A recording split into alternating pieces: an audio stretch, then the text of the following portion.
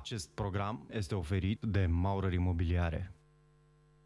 Bună dimineața și bine ați venit la Mata 7. Vă urez sărbători fericiți în această zi de Crăciun. Ne bucurăm să fim împreună.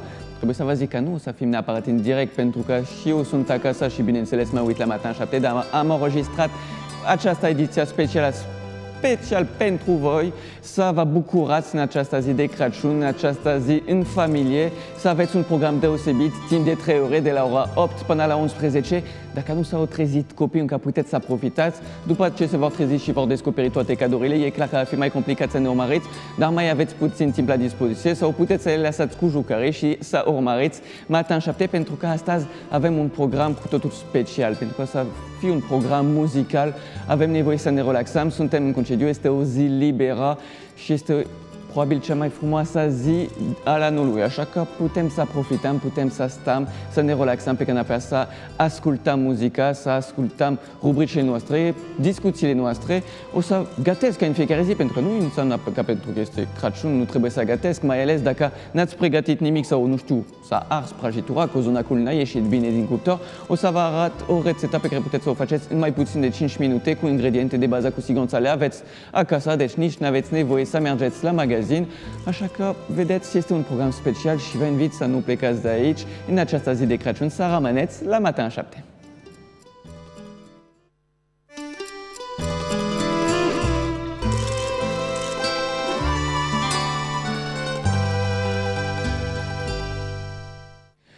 În această zi specială vreau să vă adresez un mesaj personal, dar și din partea echipei noastră, bineînțeles, echipa de realizator care nu este prezent cu noi pentru că este ziua de Crăciun, dar bineînțeles, din partea echipa tehnică și când vorbeam de realizator, avem și Abigail care ne așteaptă, deci ea n-a lipsit astăzi, bineînțeles. Ideea este că vrem să profităm de această zi, să vă conectați în familie, să profitați de fiecare clipă cu copii, cu părinți, cu toate familia și cu prieteni, dacă aveți prieteni singuri, dar să profitați de această zi, să vă gândiți la persoane care sunt singuri și să nu ezitați să mergeți în vizită la cât mai mulți oameni, să nu stă absolut nimeni singur astăzi, pentru că, cum ziceam, este cea mai frumoasă zi al anului și dacă o persoană stă singură, este puțin trist, așa că să nu ezitați să mergeți la vecin, dacă știți că aveți un vecin care este singur, să aduceți o prăjitură sau o, o parte din rețeta pe care o să vă prezint astăzi, dar să stați măcar 5 minute și cu siguranță se va bucura această persoană, pentru că în această zi nimeni nu trebuie să fie singur și, bineînțeles, vă invit să profitați maxim cu să vă distrați, să profitați, să stați, să vă jucați cu copii, să vă relaxați, să nu vă gândiți la muncă, pentru că nu este o zi pentru asta, pur și simplu să profitați și de programul nostru. Și, bineînțeles, pentru că am zis că avem un program muzical foarte important astăzi, o să trecem uh, repede peste subiectele de, care le facem de obicei și o să profităm să ascultăm, să ne relaxăm, așa că vă invit să ne întâlnim direct cu Abi, nu pierdem mai mult timp, ne-a pregătit un mic material, un filmuleț drăguț, dar bineînțeles o să și vorbim și după asta o să avem partea de un program muzical, cum ziceam, un program deosebit. Bună dimineața și sărbători fericite! Sărbători fericite, Fabian! Joyeux Noël, comme uh, on dit en France, joyeuse fête! Exact! uh, să știi că astăzi am o întrebare pentru tine. Asta o inversat exact. Vreau să te întreb care este colindul tău preferat, pentru că tot avem atât de, multe, atât de mulți colindători azi. Da, știu, dar nu prea avem cuvântul colinden uh, în Franța, nici e, deci este ceva specific, așa că nu pot să zic uh, exact care este al meu Adică sunt chestii clasic, o brad frumos, de exemplu, asta mm-hmm. avem și în Franța, Mon Beau Sapin, sau Silent Night, avem Douce Nuit, deci uh, avem uh, piesele, să zicem, clasice, dar nu avem, cum este și în România, tradiție cu muzica specială de sărbători, așa că o să zic uh, o brad frumos, că e un clasic. Cumva, dacă nu aveți lucrurile astea în Franța, uh, te bucuri de ele din plin în România. Be, pentru asta organizăm acest program, exact. să, să cumva uh, echilibrez ce nu am avut în Franța, să-l recuperez aici în România, deci asta va fi un program foarte interesant. Astăzi, după cum vezi, am venit fără nici un, uh, nici o foaie după mine, Că nu pentru este că va niciun- intra materialul. Nu este niciun eveniment, evenimentul principal este să stăm în familie astăzi. Asta e. Uh, Da, uh, odată și în al doilea rând vreau să spun că astăzi sunt un pic mai uh, în asentimentul sărbătorilor, în liniștea și pacea asta pe care o inspiră Crăciunul, așa că am pregătit un mesaj uh, de suflet, uh, însă este un eveniment, din punctul meu de vedere. Este un eveniment pe care, treb- la care trebuie să mergem fiecare dintre noi astăzi, uh, fără excepție, pentru că la acest eveniment poate participa fiecare om. Atunci, haideți să urmărim acest material și mai vorbim după asta.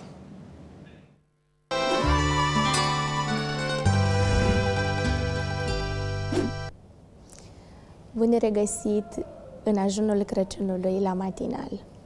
Dacă ieri am ieșit afară și am căutat să vă prezint câteva posibilități de petrecere a serii de Crăciun în cazul în care nu vreți să stați la căldură, astăzi uh, am ales o variantă ceva mai soft, mai călduroasă și care imprimă un pic spiritul de Crăciun. Astfel, propunerea pentru seara de 25 sau ziua de 25, depinde în ce moment al zilei alegeți să faceți următoarea propunere, este în felul următor. Mergeți la bibliotecă și luați cartea aceea groasă și prăfuită, pe care n-ați mai pus mâna de ani de zile. Deschideți-o și căutați cea mai veche poveste a omenirii și cea mai importantă. Dacă nu aveți cartea în bibliotecă, căutați pe telefon, cu siguranță veți găsi. Și petreceți ziua de 25 decembrie citind povestea nașterii lui Isus. Fie că ești bunic și ai toți nepoții în jurul tău, fie că ești tată și ți-ai strâns toată familia în jurul bradului, sau poate că ești singur și n-ai ce să faci astăzi, te îndemn să citești și să reflectezi la ceea ce a făcut Isus pentru noi. Nu zic de faptul că nu e bine să faci și alte lucruri, însă cred că astăzi este o zi în care trebuie să creștem spiritual și să avem în atenție faptul că Crăciunul, dincolo de consumerism, de uh, mâncare și de tot ceea ce reprezintă el, este o sărbătoare spirituală, este o sărbătoare cu, pentru și despre Dumnezeu. La mulți ani!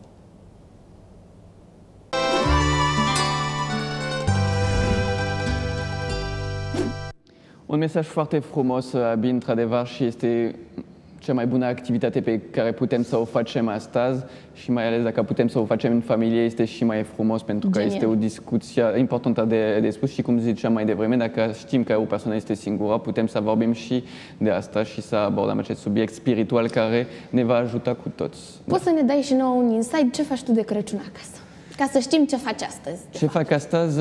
Pe, uite că astăzi sunt, mă pregătesc de fapt, dar sunt în familia Evelinei și uh, ca anul trecut și deja de 2 ani uh, apreciez să, să merg acolo pentru că există o comunitate deobe- deosebită și când vorbeam că uh, să nu lăsăm oamenii singuri, pentru prima dată în viața mea, anul trecut și anul ăsta o, o facem, mergem la oamenii care sunt singuri acasă cu mâncare, să cântăm colinde la oamenii acasă, deci asta, cu asta ocupăm practic uh, timpul de seară. Și asta e o, mi s-a părut atât de excepțional să facem asta, pentru că nu Exact. ne costă nimic, doar puțin din timpul nostru și este mult mai frumos decât să stăm doar acasă, să ne, să ne uităm la televizor, să nu, să nu facem nimic, facem ceva și pentru ceilalți și asta și tot dacă aducem vă- vorba de spiritual- spiritualitate, dacă doar schimb doi, trei cuvinte cu o persoană fix astăzi se poate schimba totul pentru un an întreg, pentru că persoana rămâne cu impresia că na, a venit cineva la ea acasă. Ține cineva la E- mine, mă exact. apreciază, mă iubește.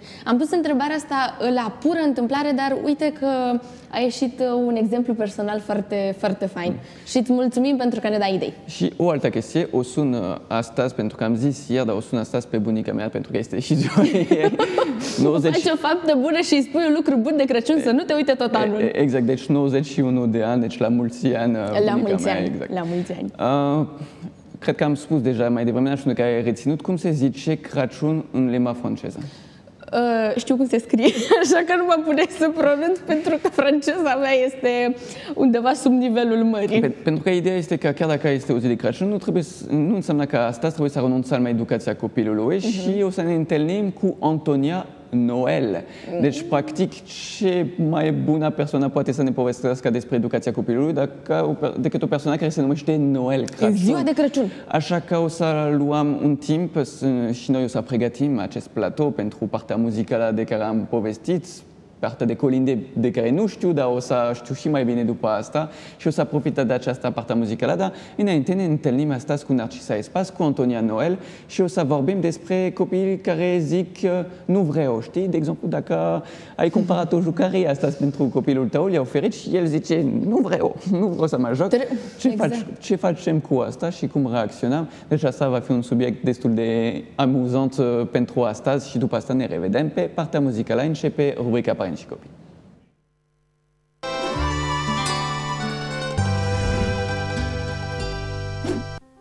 Bun găsit din nou, Fabian, sunt acesta Spas. Mă bucur că ne sunteți aproape, dragi telespectatori. Aș vrea să vă invit la o nouă rubrică Părinți și Copii. Stăm de vorbă astăzi cu Antonia Noel. Antonia, mă bucur că ți-ai făcut timp să stăm de vorbă și astăzi. Mulțumesc de invitație, Narcisa, bun găsit. Uite, mi-ai uh, provocat, uh, mi-ai stârnit foarte tare interesul pentru comunicarea părinte-copil. Uh, eu am gândit câteva teme când am vorbit cu tine și am zis că și încăpățânarea face parte din încăpățânarea copilului, evident. Evident, că noi nu suntem deloc Nu, deloc. Uh, ei bine, pe mine mă interesează să ne, să ne transmiți astăzi cum reușim să comunicăm eficient cu copiii noștri, în așa fel încât să înlăturăm barierele alea cumplite. Nu vreau sau uh, uh, nu răspund efectiv uh, cerințelor noastre sau nici măcar nu ne aud la o adică. Ai observat treaba asta? Că sunt plecați din lumea noastră, sunt pur și simplu atât de absorbiți de jocul lor sau de ceea ce, uh, nu știu, orice fac ei, încât nu sunt acolo. Și bine fac, ți-aș spune, Narcisa. Uh, bine fac că spun nu vreau, e firesc și dacă copiii nu s-ar poziționa, deci e un prim pas de poziționare, da? Um, pentru că... Au, dar stai un pic că ne sperii pe noi părinții. Cum adică fac bine? Fac bine. Un copil care spune nu vreau, da, el știe deja să are, că are acest drept să se poziționeze, să spună nu vreau. Personalitate. Personalitate și nu aș numi eu că se spune copil cu personalitate. Dar vezi tu, dacă un copil uh, nu îndrăznește să spună nu vreau, dar nu vrea, și interorizează acest okay. nu vreau, este mult mai grav decât un copil care spune nu vreau, da? Deci este un afront deschis. Atunci, ă, deci problema nu este la copil că el a spus nu vreau, da? Problema este la părinte că te-am auzit înainte cum facem să eliminăm acest nu vreau. Și eu aș pleca de la nu e cazul să le eliminăm, Am ci înțeles. e cazul să le uh, să observăm, cumva. să le observăm. A, a venit un nu vreau de la copilul meu, ce fac eu cu acest nu vreau? Îl iau în brațe, îl arunc la gunoi, îl transmit, dar nici eu nu vreau printr-un șantaj, dacă tu nu vrei asta, nici eu nu vreau să te duc la în parc, da, și uh, intru în niște mecanisme din astea de, de apărare, de apărare sau de mm. dominant-dominat, unul domină, celălalt este dominat.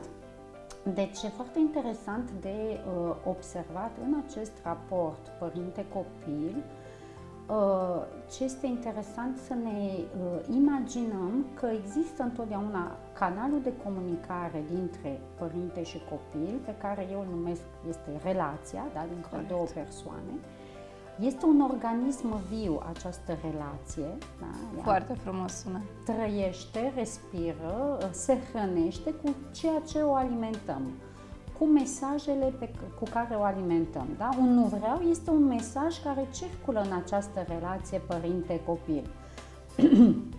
Pardon. Dacă um, eu, copilul îmi trimite un nu vreau, da? Și eu îl amplific, exact cum îți spuneam înainte, printr-un mecanism de șantaj, de uh-huh. exemplu. Nici eu nu vreau să fac cu tare lucru pentru tine, uh, nu voi soluționa comunicarea, nu voi depăși comunicarea defectuoasă cu el. Hai să răspundem întrebării ce facem cu nu vreau. ce facem cu nu vreau este, uh, în primul rând, ascult copilul, da? Uh, aha, am înțeles că nu vrei. Re- preiei mesajul, vorbele lui, pur și simplu. Îl conștientizezi tu, părintele, în primul rând. Conștientizez. Ca să conștientizez, revin un pic că uh, am nevoie așa să pun niște, uh, niște repere uh, vizuale, da? le imaginăm, reperul relație între mine și copilul meu, reperul, cum spuneam, mesaj. Mesajul nu vreau nu este copilul, nu copilul e un tot nu vreau, ci este Deci pur și trebuie simplu să le mesaj. separăm. Disociez mesajul pe care le Corect. emite de persoana lui. Copilul meu este mult mai mult decât un nu vreau. Nu vreau acela apare la un moment dat și cu siguranță că are o cauză, o explicație, o, o, un izvor. A venit de undeva acest nu vreau.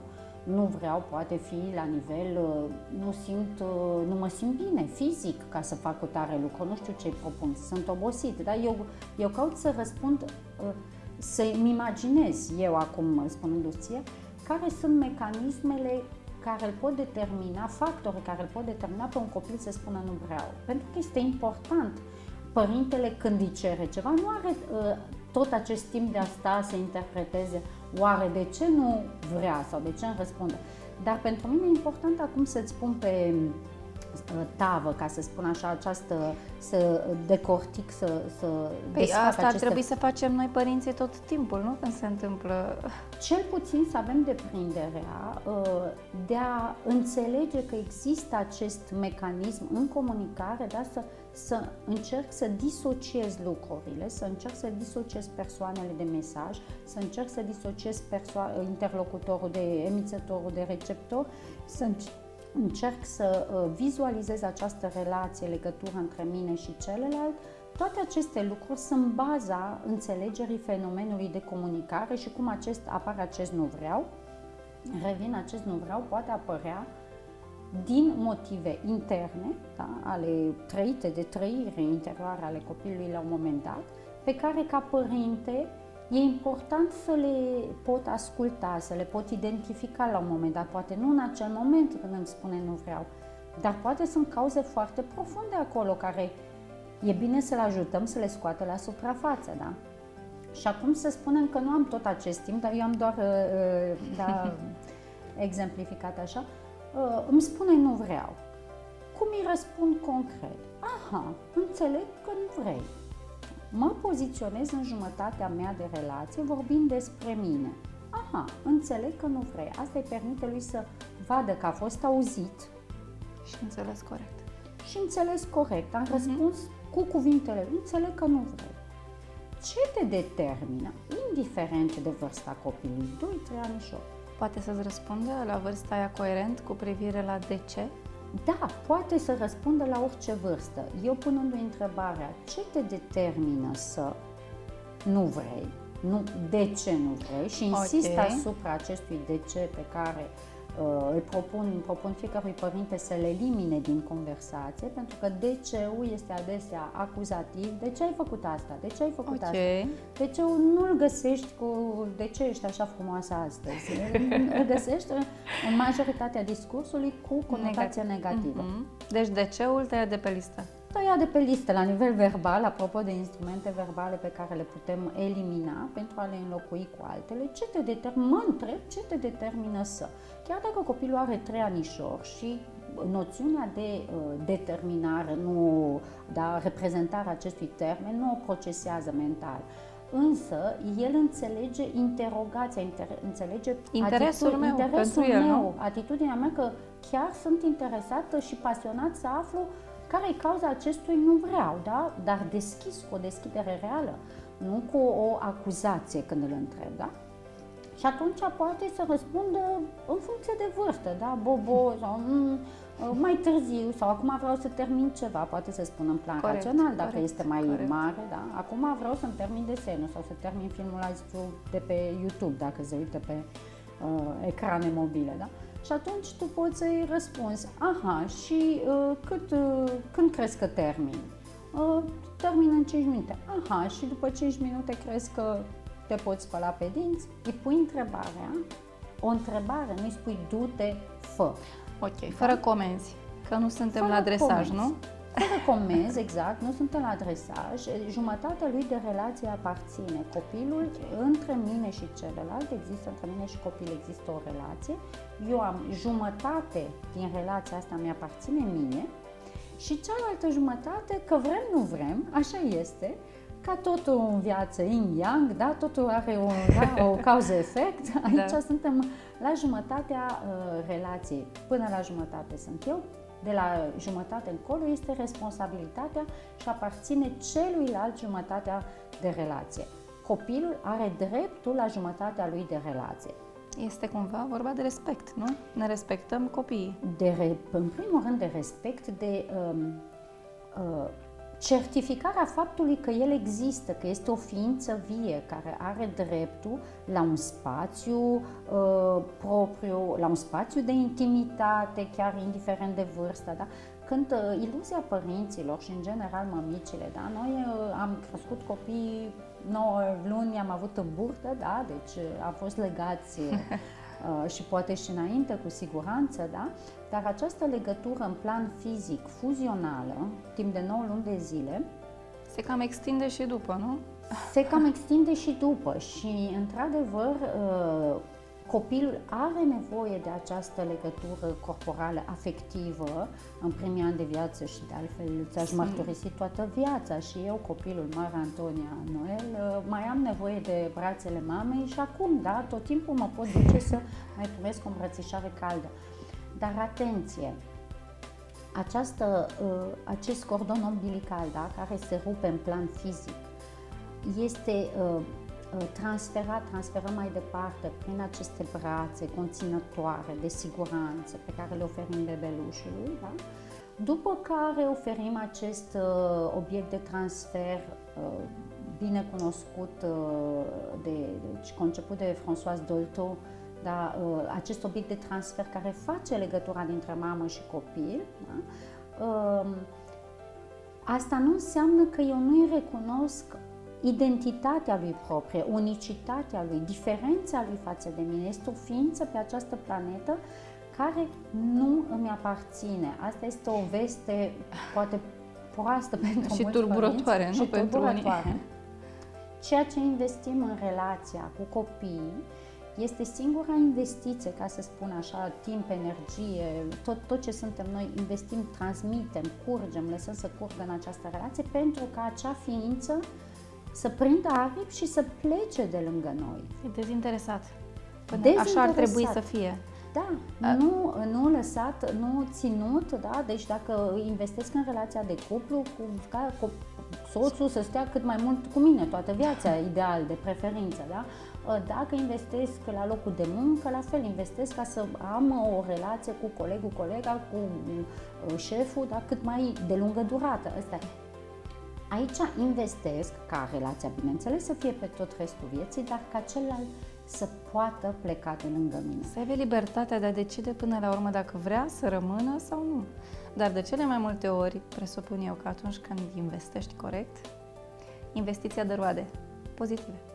Investiția de roade pozitive, întotdeauna atunci când uh, îi respecti, așa cum ai uh, folosit foarte bine acest cuvânt de respect, da?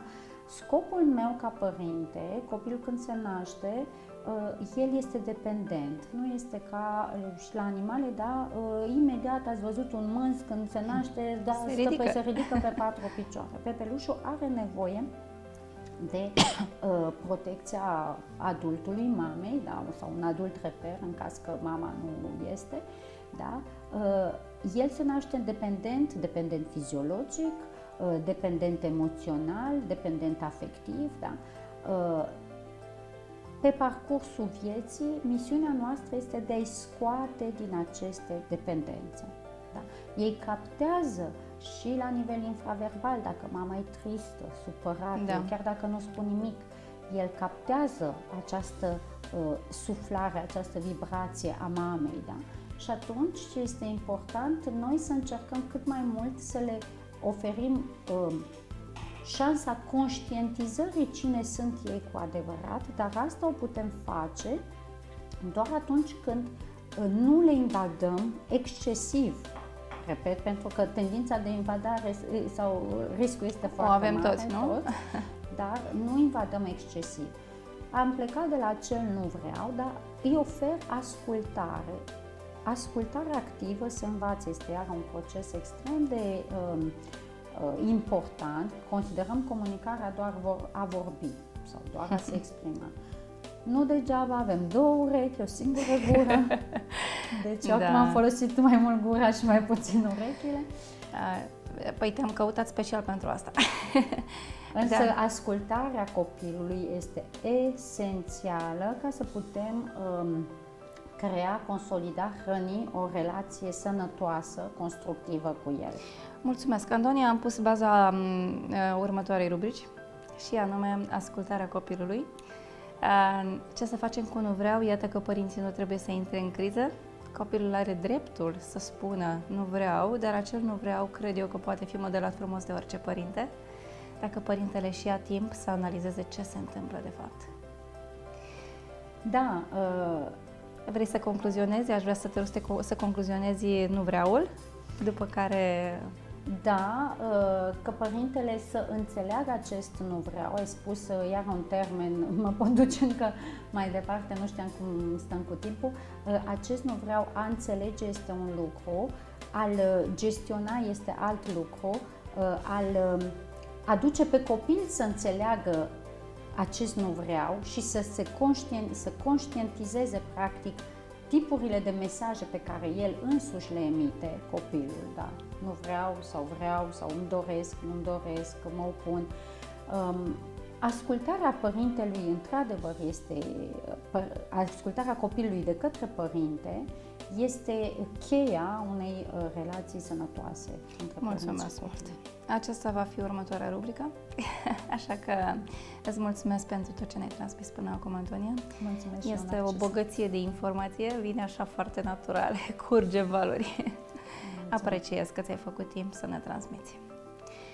Dragii mei, uh, iată că nu trebuie să ne speriem de nu vreau. Vă invit din toată inima să vă luați timp să vă gândiți la aceste cuvinte ale copilașilor voștri sau poate a partenerilor voștri, nu știu, a colegilor de muncă. Aceste cuvinte au o valoare și merită să li se ofere atenția cuvenită. Vă doresc o zi frumoasă în continuare!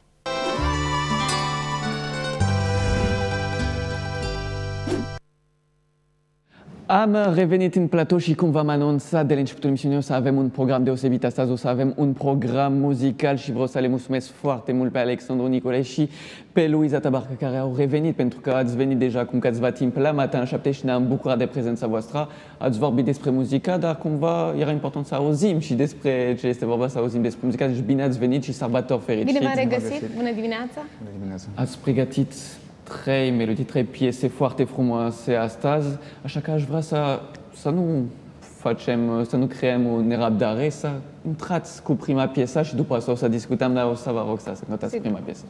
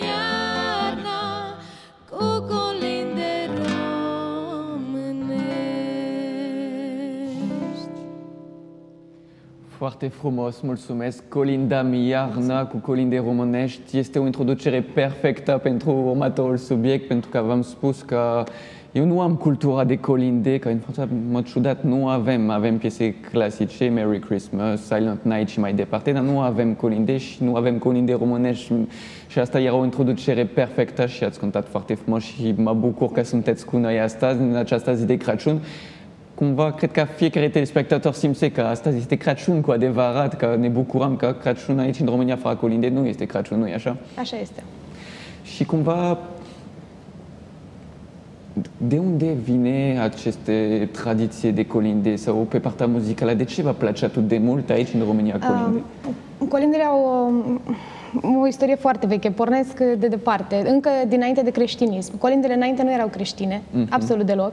Din contră, de biserică au fost considerate păgâne. Uh-huh. Și atunci nu vreau să le accepte deloc, pentru că oamenii, cum să zic, venerau, ca să spun așa, ă, soarele, ploaia, uh-huh. tot ce ținea de natură și da. tot ce îi ajuta să, să aibă o uh, agricultură bună, să aibă un an productiv, pentru că, de fapt și de drept, ei sărbătoreau nou an, nu cum sărbătorim noi acum uh, în decembrie-ianuarie, uh-huh. la trecerea între decembrie și ianuarie, ci ei sărbătoreau în martie, când Am totul renăștea și venea primăvara. Da. Și atunci ei uh, uh, foloseau aceste cântece ca să invoce natura, să invoce ploaia, uh-huh. să mhm. invoce soarele, să aibă o, o cultură bună, o agricultură bună în anul ce, ce venea. Și biserica uh, s-a gândit că nu avem ce să le facem măsura, nu putem să-i dezvățăm de aceste obiceiuri păgâne, cum le spuneau ei, și atunci au acceptat și aceste colinde și au introdus uh, religios, religiosul în ele. Da. da. Deci cumva așa s-a pornit și pentru asta avem foarte multe acum colinde creștine care sunt foarte și foarte drăguțe pentru că în această perioadă este foarte frumos să le auzim și sunteți de la Clubul Muzical Guns Music, faceți, uh, învățați, sunteți profesor pentru copii și pentru adulți, dar mai ales pentru copii. Sunt convins că în perioada asta, în luna decembrie, a fost o nebunie, nu, cu copii, cu colindele. A fost nebunie, am avut concert cu ei chiar duminică și s-au descurcat extraordinar. Au rezistat eroic patru ore, am avut 51 uh, de copilași care au urcat pe scenă și au cântat, au cântat colinde, colinde de tot felul, colinde la pian, colinde la chitară, colinde în limba engleză, colinde în limba română tradiționale. Au cântat și melodii care nu erau neapărat uh, specifice tipice sărbătorilor de iarnă, dar s-au pregătit tot anul cu ele, le-au pregătit foarte bine și atunci, bineînțeles că trebuiau să le cânte și pe scenă și s-au descurcat extraordinar. A fost un concert reușit. Și presupun că pentru părinți este o plăcere deosebită să au de copii care cânt colinde Bineînțeles, au fost foarte bucuroși și părinții, au cântat și părinții, au cântat cu toții împreună. Au cântat și părinții alături de noi, au cântat și copiii. A fost așa o muncă de echipă, pentru că și dacă, dacă părinții nu ar fi alături de copii, se aducă la noi în fiecare săptămână sau chiar și de două ori pe săptămână, dacă ei nu i-ar susține, atunci cu siguranță nici copiii nu ar avea ce să prezinte pe scenă. Și părinții sunt la fel de implicați ca și copiii, sunt acolo cu tot cu sufletul energie, alături da. de ei. Da.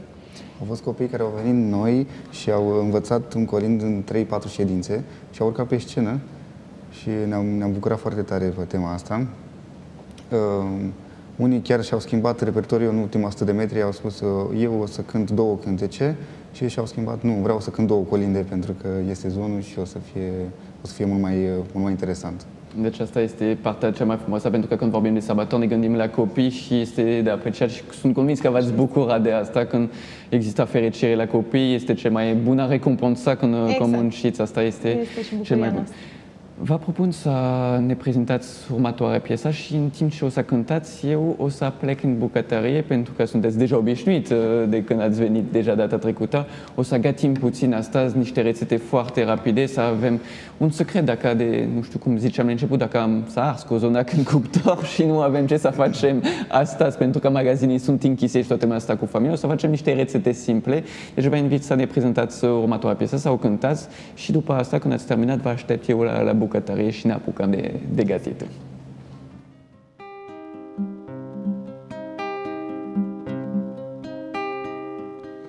Dulce galbenă lumină, cum și eu băla era Mi-a pus mama o gutuie ce se coace încet la geam Aș mușca o dărmătoare, mă cuprind un fel de zi. Și acum când trece anul, parcă o simt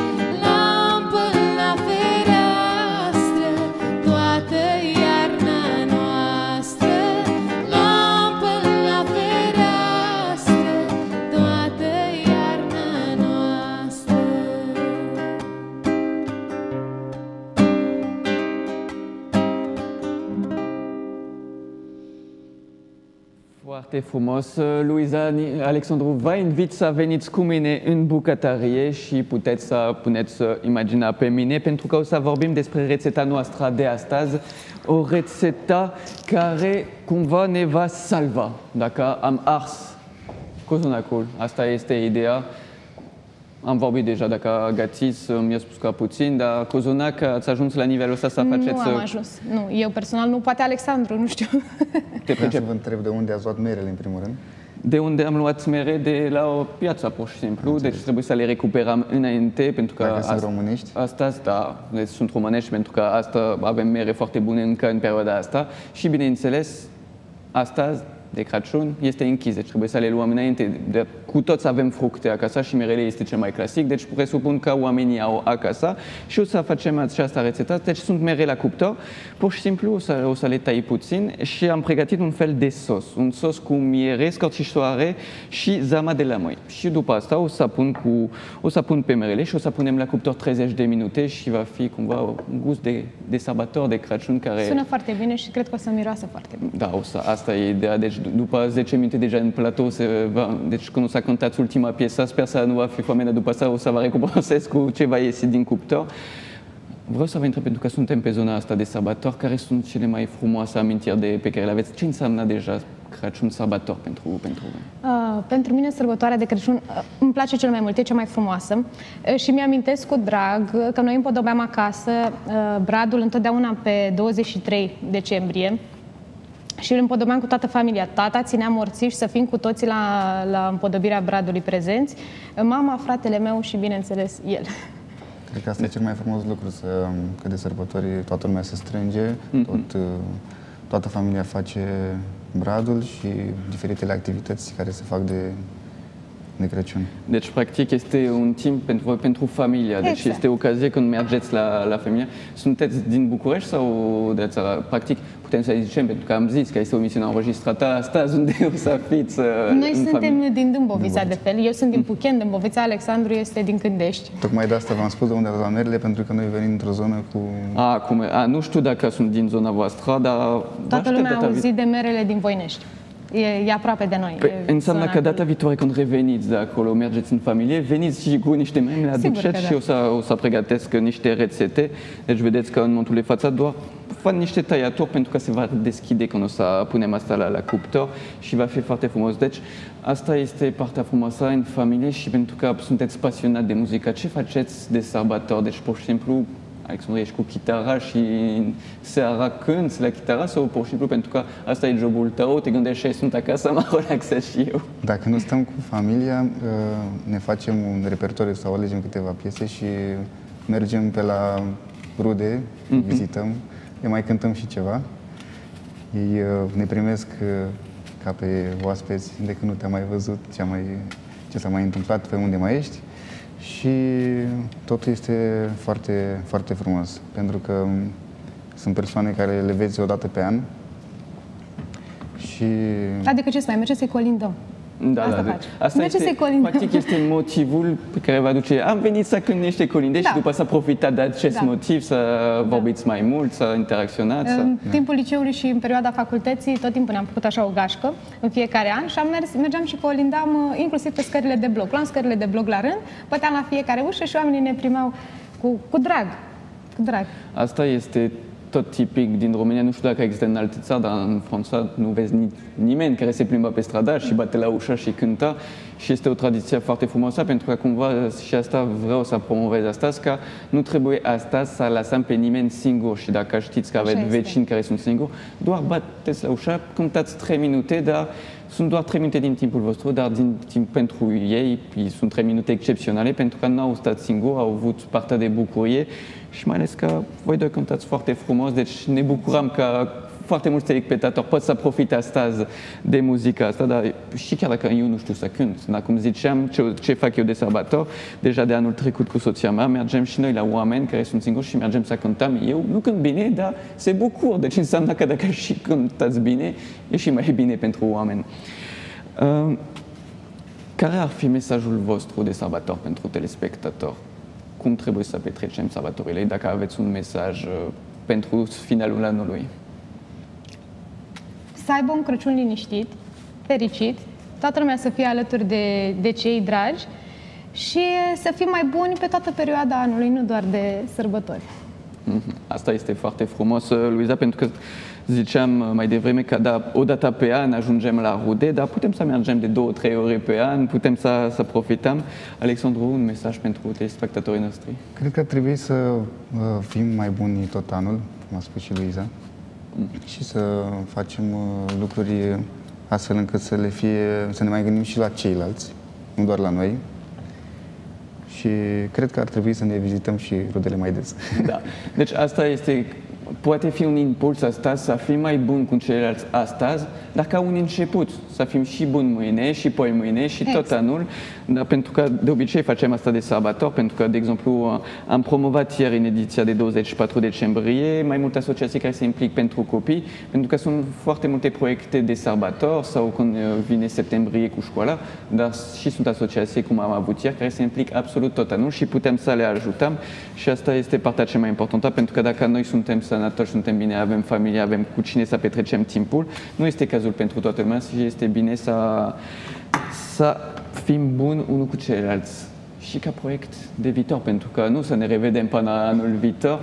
Ca proiect de viitor, Cum, cum vedeți anul 2020? Anul 2020 eu cred că o să fie și mai productiv și mai bun decât eh, 2019. Um, Eu și Alexandru, noi deja avem, cum să zic, formula asta noastră se numește Duolaș și noi deja am, am uh, cântat uh, la diverse terase, restaurante împreună. Evenimente. Um, Genul acesta de melodii, de stat jos și cântat diverse piese pe diverse ritmuri și antrenat uh, publicul. Um, Eu am și un proiect separat, Trupa Soul, cu care merg și când la petreceri sâmbătă și duminica. Alexandru face și el parte din uh, proiectul Two Gens și merge cu Doru Todoruț și cu Ciprian Cici. Ro- Cici Rogojan. Așa Ciprian știe Rogojan. toată lumea Cici. Și când prin toată țara a avut turneu. Deci 2019 a fost productiv, sperăm că 2020 va fi la fel de productiv și la fel de plin de proiecte frumoase. Păi da, dar stați puțin, că deja în 2019 nu ați avut timp de nimic, ați, uh, ați avut mai multe Da, proiecte. dar a E fost- posibil și mai mult. A fost un timp folosit bine, adică am fost productivi, am, am lucrat, am, de fapt n-am lucrat, am făcut ceea ce, ce ne place Dacă și nu noi este facem ceea ce ne pasiune. place. Deci asta este o altă lecție pe care putem să le învățăm astăzi, este că este important să urmărim pasiunea noastră, să fim fericiți, asta este o zi de bucurie, deci să găsim o soluție să fim fericiți, pentru că vorbim puțin de muncă așa, chiar dacă nu este o zi potri- potrivită pentru asta, dar dacă facem asta de pasiune, nu simțim Nu că este muncim muncă. asta, deci Așa nu este vorba de, de muncă și ne simțim foarte bine. Noi suntem printre cei norocoși, facem ce ne place și atunci nici o secundă nu este muncă, într-adevăr. Cum vi se pare această rețetă pe care o fac acum? Deja vi se pare că am început bine sau... Arată foarte bine, Deci, cu siguranță va mirosi foarte bine, am mai spus. Eu sunt fan mere, îmi plac merele sub orice formă, în plăcintă, Eu chiar mănânc și unul așa. pe zi, tot timpul, fiecare zi mănânc cât un măr la ora 12. La ora 12, atunci înseamnă că după finalul emisiunii trebuie să-ți păstrăm mai aștept o oră Da. și poți să mănânci. Asta este puțin mai dulce pentru că, într-adevăr, putem să mâncăm merele așa simple pentru că sunt foarte sănătoase, dar asta este cu gust de miere Știi și cum spun scorțișoare. americanii? An apple a day keeps the doctor away, so... Exact. Și zicem că chiar câștigăm 10, de fiecare dată când mănânci o, o mere, câștig un mar, câștig 10 minute de viață. Deci wow. prelungești viața ta cu 10 minute. Am încercat să mănânci 20 pe zi, dar după să mă durut bofta și nu cred că am câștigat timp pe zona asta. Uh, În timp ce o să pun asta la cuptor, Luisa Alexandru va propun să mergeți din nou la, la fotolii și să vă pregătiți pentru ultima piesă de astăzi.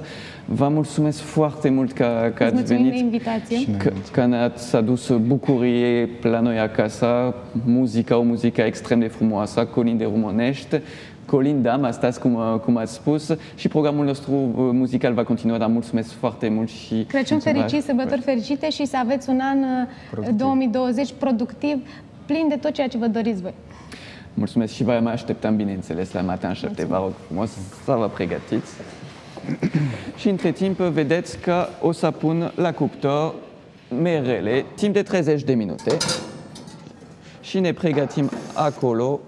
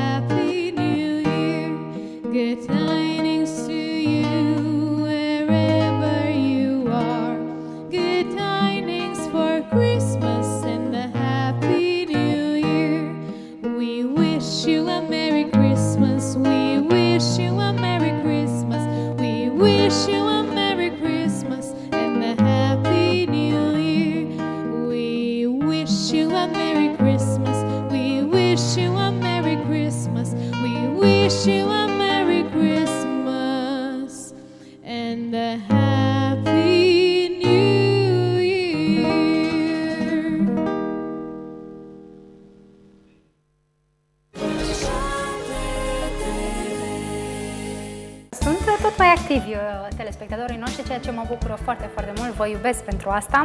Până să trecem la întrebările noastre centralizate, aș vrea să-ți mai citesc încă un mesaj de la Andreea Beatriz. Ce pot să fac astfel încât să-mi păstrez hainele să arate la fel de bine ca atunci când le-am cumpărat? Cum ar fi să poți să pui orice întrebare și să ți se răspundă? Să faci așa și să apară specialistul. Sau să existe o emisiune în care tu să pui întrebările. Ei bine, acest lucru este posibil. Sunt Alina Ilioi Mureșan și doar la alături de tine toate lucrurile menționate tu poți să le faci. Te aștept în fiecare zi, de luni până joi, de la 19.30 doar la 7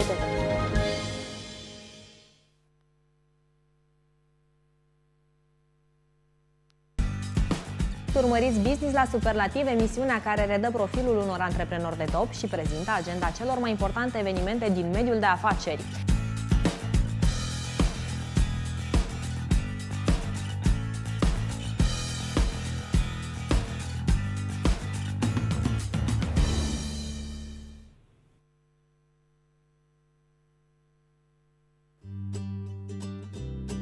Vă salut, sunt Consola Balașa și... Vrei să fii la curent cu noutățile din domeniul medical? Antidepresivele nu dau așa ceva, nu dau dependență, însă...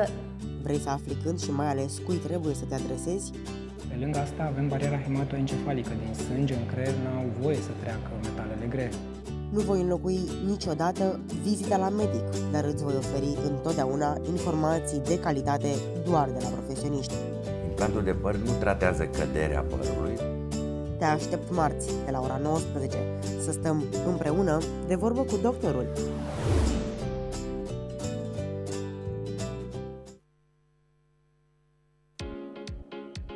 Începe o nouă ediție de Smart Life în care vreau să vă arăt cum să trăiți la superlativ.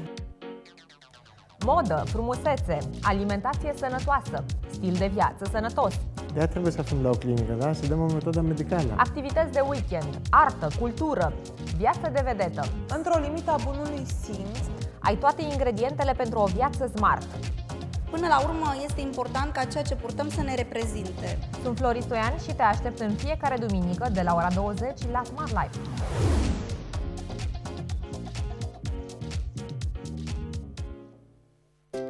Vă salut și îmi face o deosebită plăcere să fiu gazda voastră și în această nouă ediție Mensana. Cum îți dorești să fie porția de sănătate de weekend? Dinamică, actuală, colorată. Este important cum arătăm, dar este și mai important ce se întâmplă în interiorul organismului nostru. care să nu uite de frumusețe, suflet și psihic? De ce este important un consult dermatologic înainte de epilarea definitivă? Aceasta este Mensana, iar eu sunt Consola Bălașa și vreau să fii cu mine duminica de la ora 12. Mă bazez pe tine.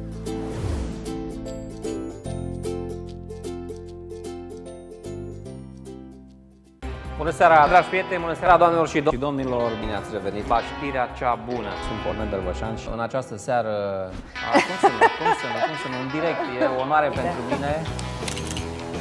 Mulțumesc! Pentru că nu e bine nici să fii mândru, nu e bine nici să fii uh, nobody.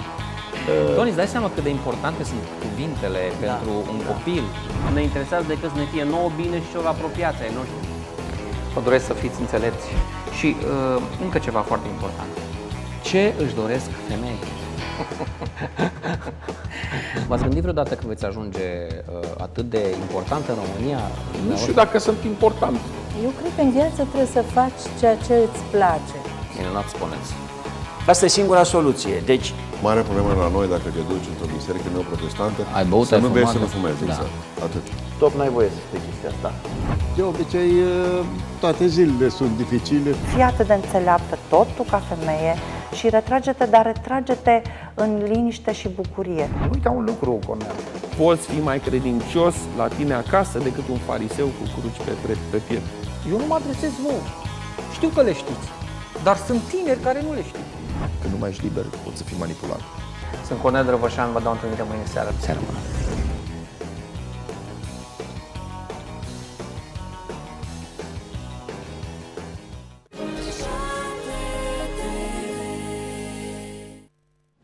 N-am intrat încă în a doua ora, dar deja am avut partea de un program deosebit, de un program muzical cu Alexandru și Luiza și ne vom bucura de un program muzical, dar nu numai, o să fie și puțin poezie în această, emis- în această emisiune, pentru că este o emisiune specială de sărbători, o emisiune specială de 25 decembrie.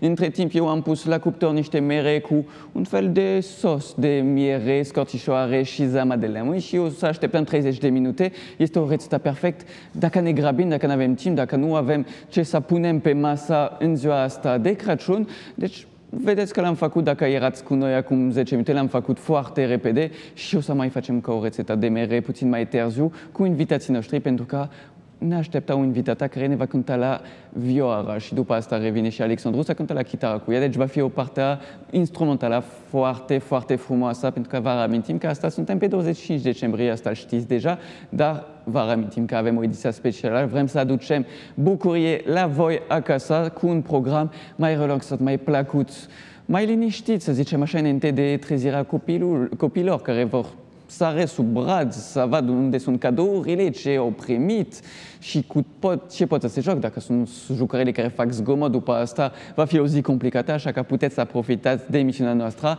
de un moment de liniște și o să profităm să ne întâlnim încă o dată cu Abigail, pentru că ne-a dat, ne-a oferit un mesaj foarte frumos de Crăciun, ne-a amintit că este pe primul loc o zi care trebuie să fie spiritual, în care, o zi în care s-a născut Isus Hristos și care, în care trebuie să ne gândim la ce putem să facem bine, cum putem să fim ca El, să fim mai buni cu celelalte. Bună dimineața, Abi! Ziua Bună de astăzi în dimineața istorie, din nou, astăzi Fabian. ce s-a întâmplat pe 25 decembrie, asta... Să știi că astăzi rubrica este și ea una specială. Una, pe bineînțeles, ediția Pentru specială că- tot este special.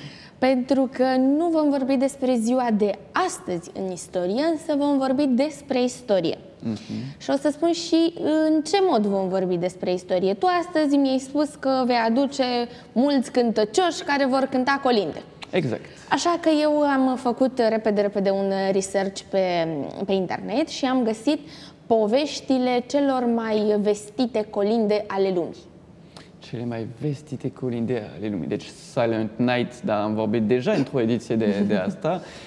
După asta, Obrad frumos, asta Mhm. cred că ai cunoscut, asta ziceam mai devreme și aici se oprește cultura mea muzicală, care este extrem de Mai săracă. este și Jingle Bells. Ah, Merry Christmas, pentru că Alexandru și uh, Luiza au cântat We Wish You a Merry Christmas, deci înseamnă, da, sunt, mai sunt, deci de, fapt, de fapt știu. Um, știi care e chestia? Am vorbit mai devreme despre Silent Night, dar nu am vorbit despre cum a luat naștere această piesă, Mhm. uh, care a fost istoria de la care a pornit și unde s-a, s-a, s-a concretizat ca piesă.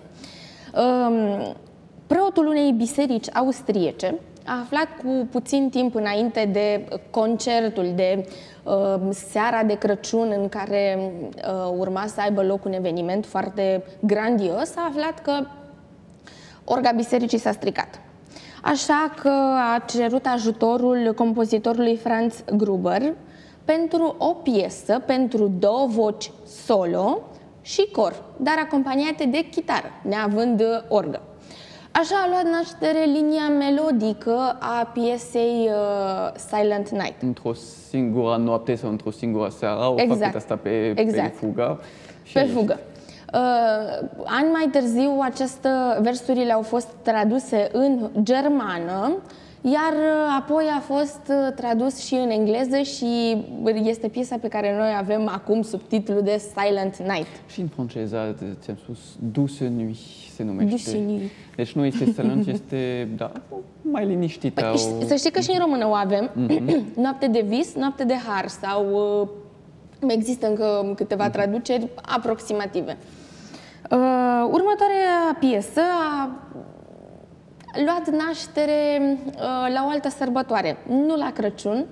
Nu a fost compusă pentru Crăciun uh, și inițial nici nu s-a cântat în această perioadă, însă a fost preluată de copii pentru că a fost o piesă extrem de iubită de către ei. Este vorba de piesa Jingle Bells. Uh, Este o piesă care a fost compusă de Ziua Recunoștinței, Uh, în, pe continentul uh, american de ziua recunoștinței, în perioada respectivă aveau loc uh, curse de cai și această piesă s-a numit uh, inițial uh, stai puțin că îmi scapă titlul, este exact un vers din uh, Deci dacă era o cursă de cai, era One Horse probabil Open Sleigh. o piesă care nu era o brat frumos, era un cal frumos, par exemplu. One de Horse exemplu. Open Sleigh.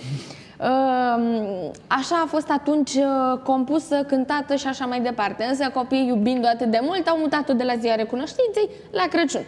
Acum nu se mai cântă la ziua recunoștinței, o avem ca piesă de sine stătătoare la orice sărbare de Crăciun. Cea de-a treia piesă este o brad frumos. Uh, Este un colind uh, german scris de Melchior Franz, uh, Frank pardon, și a fost uh, compusă pentru a exprima, a pune în versuri uh, tradiția aducerii unui brad din, uh, din afară, Mm. din pădure, din, de la piață, de unde putem și împodobirea, lor. Practic, împodobirea lui. Practic este o piesă care a venit uh, ca rezultat al unei tradiții.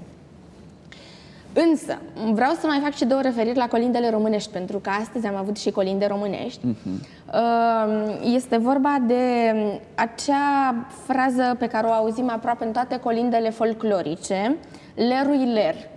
Nu știu dacă Nu ai auzit-o. știu deloc ce înseamnă asta, de ce să-mi zici? Uh, Este f- teoretic, așa este interpretată, ca fiind forma evrească a cuvântului Aleluia. Mhm. Deci, practic, este tot o formă de, a de a ovaționa divinitatea. Iar uh, un alt, uh, o altă piesă pe care am descoperit-o de curând pe, pe YouTube uh, este intitulată M-a trimis Maica la capre. Este colind. Și ce mi s-a părut foarte interesantă e- a fost povestea din spatele lui, pentru că uh, este un colind amuzant. Îți spun din start și Păi este dacă ți-a cântat... trimis maica la capre, îmi dau seama că e ceva... Este cântat de un sobor de preoți. Mhm. Uh, însă, este, partea interesantă e uh, că exprimă toată povestea uh, omului pe pământ, planul Mhm. de mântuire și tot ceea ce cumva rezumă toată povestea Bibliei într-o singură piesă. Maica se referă la uh, mama lui Isus, Mhm. iar la capre se referă la oamenii de pe pământ.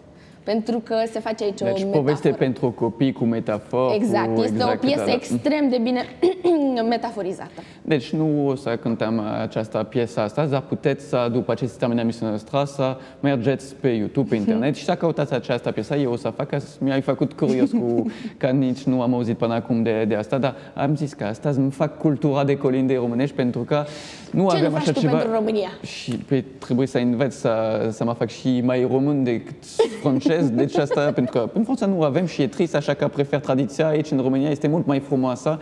Și mereu ziceam și trebuie să o cunosc în ziua de, de Crăciun, pe 25 decembrie, că mereu zic nu-mi plac sărbătorile, că nu-mi plac Mhm. Că în Franța nu, Știu. Că în Franța nu avem o atmosferă din asta, pur și simplu e doar aspectul comercial care ne vine din America, unde se fac cadou, cu Moș Crăciun și mai Mhm. departe. Deci tot ce nu are nicio importanță, nu are nicio Și un legătură. fel de E- spiritualitate e- Exact, și de... nu există partea spirituală, nu există partea de conectare în familie și asta e clar că e o lipsă și îmi dau seama acum de ce nu-mi place sărbătorile. Da, acum cred că... Începe să- mm, cât de cât acolo. Ușor, ușor, cred că anul viitor o să fie și mai Te-a frumos. dar convins, Evelina, bine, îmi place. Dar deja anul ăsta simt o mare diferență pentru mine și cred că Mhm. efectul de, de sărbătoare aici în România este foarte puternic și mai ales dacă avem zona spirituală. Cel se mai bine aduce- trăit în familie. da, exact. În familie este excepțional și este un moment frumos și repetăm că asta este important, asta să ne conectăm în familie, să ne gândim la aspect spiritual, să ne gândim la nașterea lui Isus, pentru că despre asta este vorba astăzi și, bineînțeles, să nu lăsăm pe nimeni singur să profităm, să vizităm rudele vecini. Chiar dacă putem să facem asta tot anul, dar este un motiv, o ocazie bună, să nu lăsăm nimeni singur astăzi pe 25 decembrie. Mulțumesc foarte mult, Abi, pentru că ai venit drag. și astăzi uh, cu noi și că ne-ai împărțit povești, că ne-ai, trimis un, ne-ai transmis un mesaj frumos. Mai ai ceva de Da. Adăugat? Pentru că este ultima dată când ne vedem în direct astăzi, eu vreau să vă urez sărbători fericite și uh, să petreceți bine în familie cu toți cei dragi și să-ți mai pun ție o întrebare. Uh, Astăzi e Ce- clar că sunt anversatorule, deci... Da. a- Um, acum, la final de an, cu ce gânduri pornești în anul următor? Asta ca să fie și un fel de inspirație pentru O cei să-ți care ne privesc. răspund pe data de 31 Mm. decembrie la ora 23.55, că mai gândesc de obicei la asta, dar bineînțeles că sunt chestii clasice, vreau să zic asta, dar foarte importante, că trebuie să avem un an, mai ales că în 2020, stai seama că au trecut 20 de ani de când am trecut anii 2000, Asta mi s-a părut mai impresionat și m-am gândit, uh, sunt tânăr, trebuie să cunosc, dacă bătrânesc puțin și eu. Și în anul 2020, pentru toată lumea, aș vrea să fie deja să fim cum au spus și Alexandru și Luiza, să fim mai buni cu ceilalți, pentru că asta e cel mai important. Trăim într-o societate care are tendința asta de devine din ce în ce mai egoistă, mai devenim individualist, ne gândim la noi, ne gândim la binele nostru, dar sunt convins că dacă ajutăm pe ceilalți, ne simțim și noi mai bine. Deci dacă vrem să ne gândim la binele nostru, trebuie să ajutăm pe ceilalți și asta ar fi lecția și asta este oricum ce încercăm să facem în fiecare zi la matin 7, să promovăm faptele bune și implicare. Și dacă ne implicăm, eu sunt convins că anul 2020 va fi un an perfect. Ne vedem la anul! Ne vedem la anul. Mulțumesc, sărbători fericite, Abi. Dragi telespectatori, o să ne întâlnim încă o dată, pentru că am zis că nu s-a lipsit de educația copiilor astăzi, o să vorbim despre gelozia între frați, pentru că dacă aveți mai mulți copii care se trezesc și descoperă cadourile, mereu există o gelozie acolo, pentru că, dar de ce el a avut un cadou mai frumos decât al meu? Eu, și eu voiam asta, de ce am avut asta? Și după asta se cert și este mai complicat și nu este o zi în care trebuie să ne certăm, așa că o să vorbim despre gelozie între frați, în mod general cu Narcisa Espas și ne revedem peste 10 minute și mai continuăm programul nostru muzical. Rămâneți cu noi!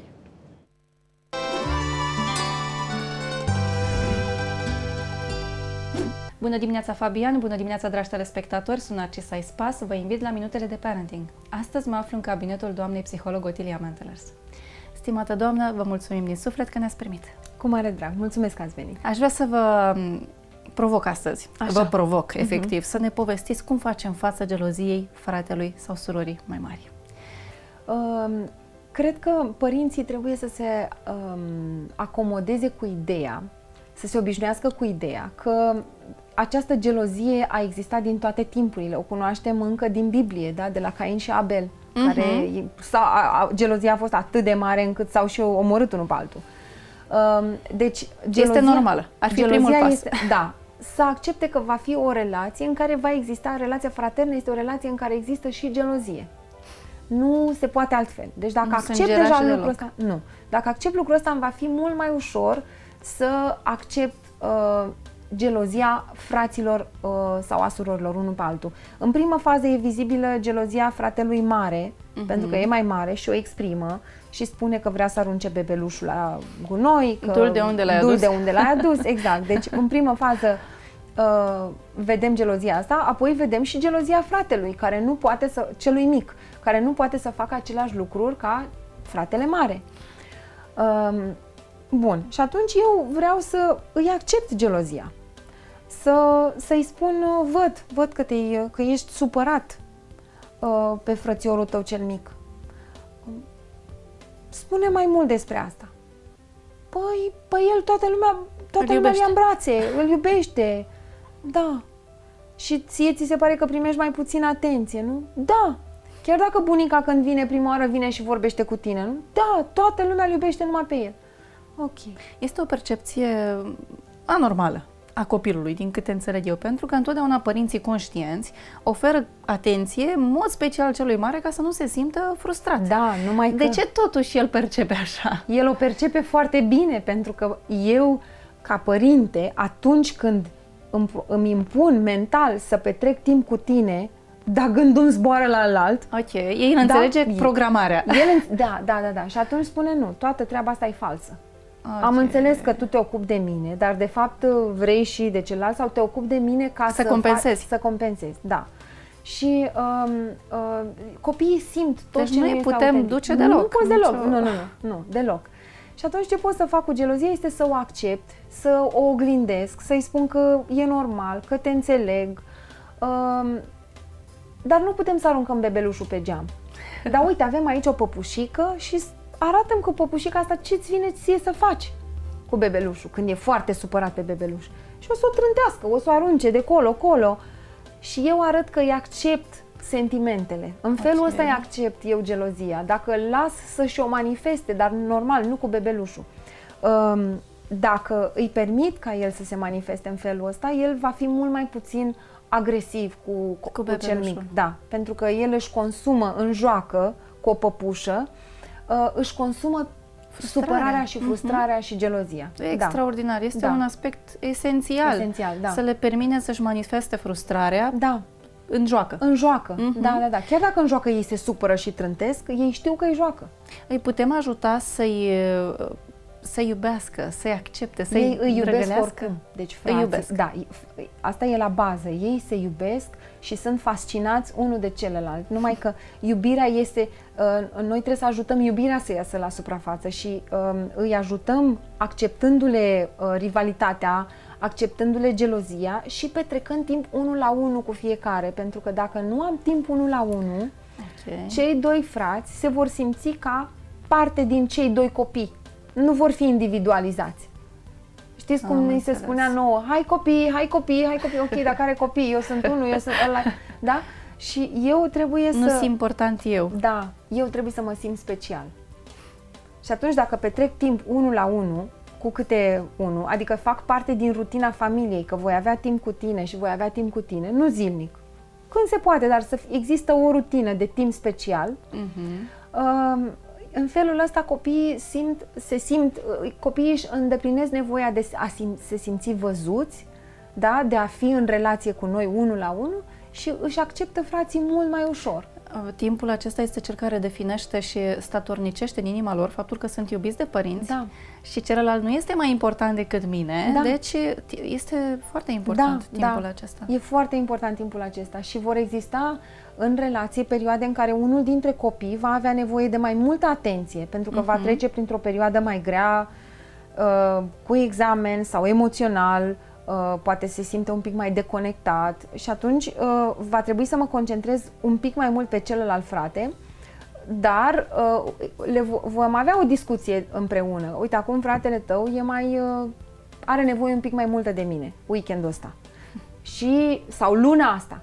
Și eu am grijă să petrec timp și cu tine, dar după aceea compensăm. Deci copilul, cop- copiii trebuie să înțeleagă că nu va fi tot timpul totul în mod egal.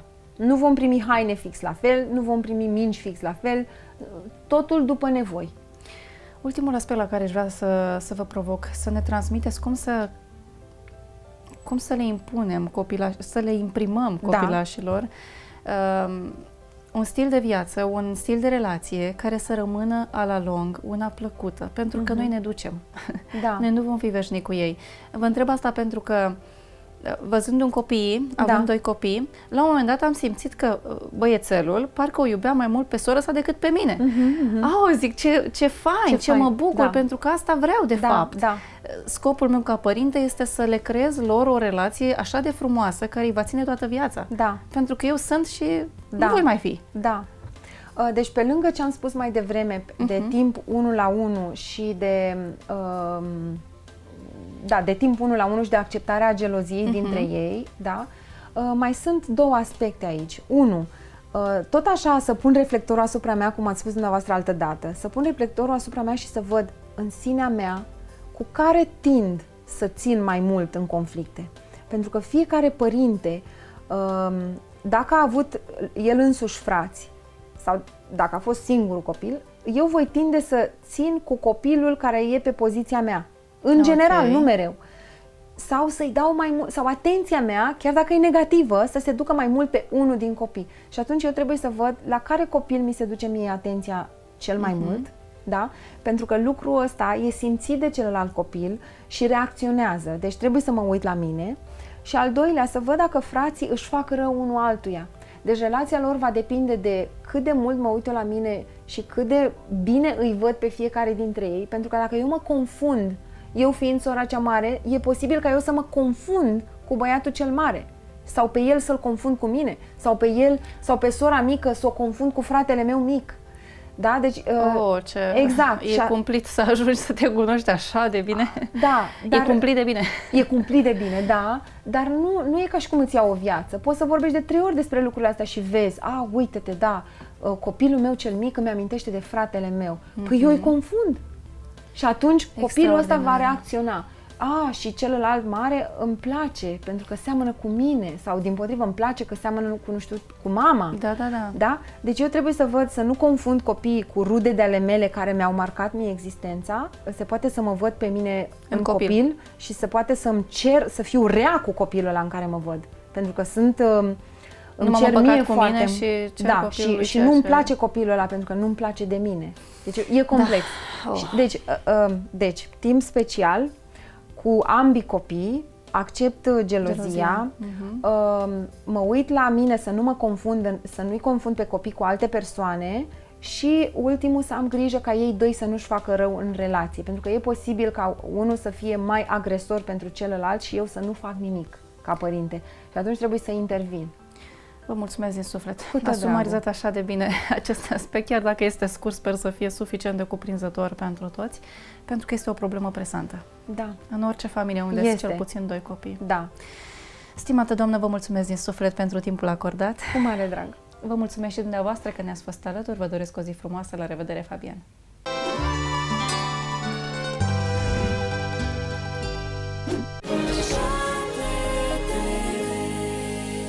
Sunt tot mai activi uh, telespectatorii noștri, ceea ce mă bucură foarte, foarte mult. Vă iubesc pentru asta. Până să trecem la întrebările noastre centralizate, aș vrea să-ți mai citesc încă un mesaj de la Andreea Beatrice. Ce pot să fac astfel încât să-mi păstrez hainele să arate la fel de bine ca atunci când le-am cumpărat? Cum ar fi să poți să pui orice întrebare și să ți se răspundă? Să faci așa și să apară specialistul. Sau să existe o emisiune în care tu să pui întrebările. Ei bine, acest lucru este posibil. Sunt Alina Ilioi Mureșan și doar la alături de tine toate lucrurile menționate tu poți să le faci. Te aștept în fiecare zi, de luni până joi, de la 19.30, doar la 7 TV.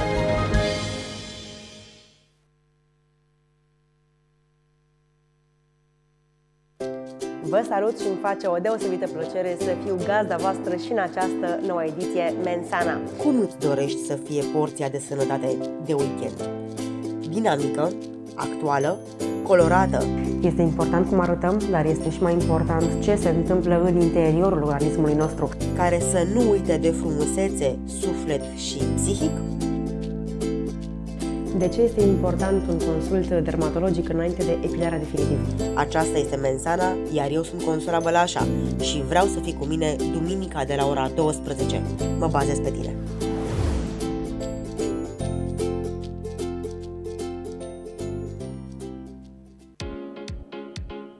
Începe o nouă ediție de Smart Life în care vreau să vă arăt cum să trăiți la superlativ. Modă, frumusețe, alimentație sănătoasă, stil de viață sănătos, De aia trebuie să fim la o clinică, da? Să dăm o metodă medicală. activități de weekend, artă, cultură, viață de vedetă. Într-o limită a bunului simț, Ai toate ingredientele pentru o viață smart.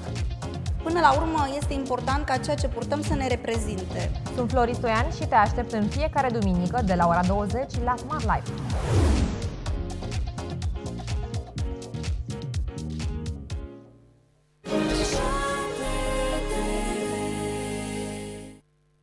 Am revenit în platou și suntem gata să continuăm programul muzical și a venit lângă Alexandru o nouă persoană, Elena Albu. Bună dimineața, Elena, și bine ai dimineața. venit la Mata 7. Ne bucuram să te primim în această dată de 25 decembrie. Ne bucuram că ai venit și cu o vioară, pentru că nu am avut niciodată la Mata 7 o, via- o vioară. Așa că o să vă propun să cântați o prima melodie. Știu că ne-ai pregătit două melodii, așa că cântați prima melodie. După asta, pentru că fiecare invitat care vine aici, sunt două chestii de făcut, Elena.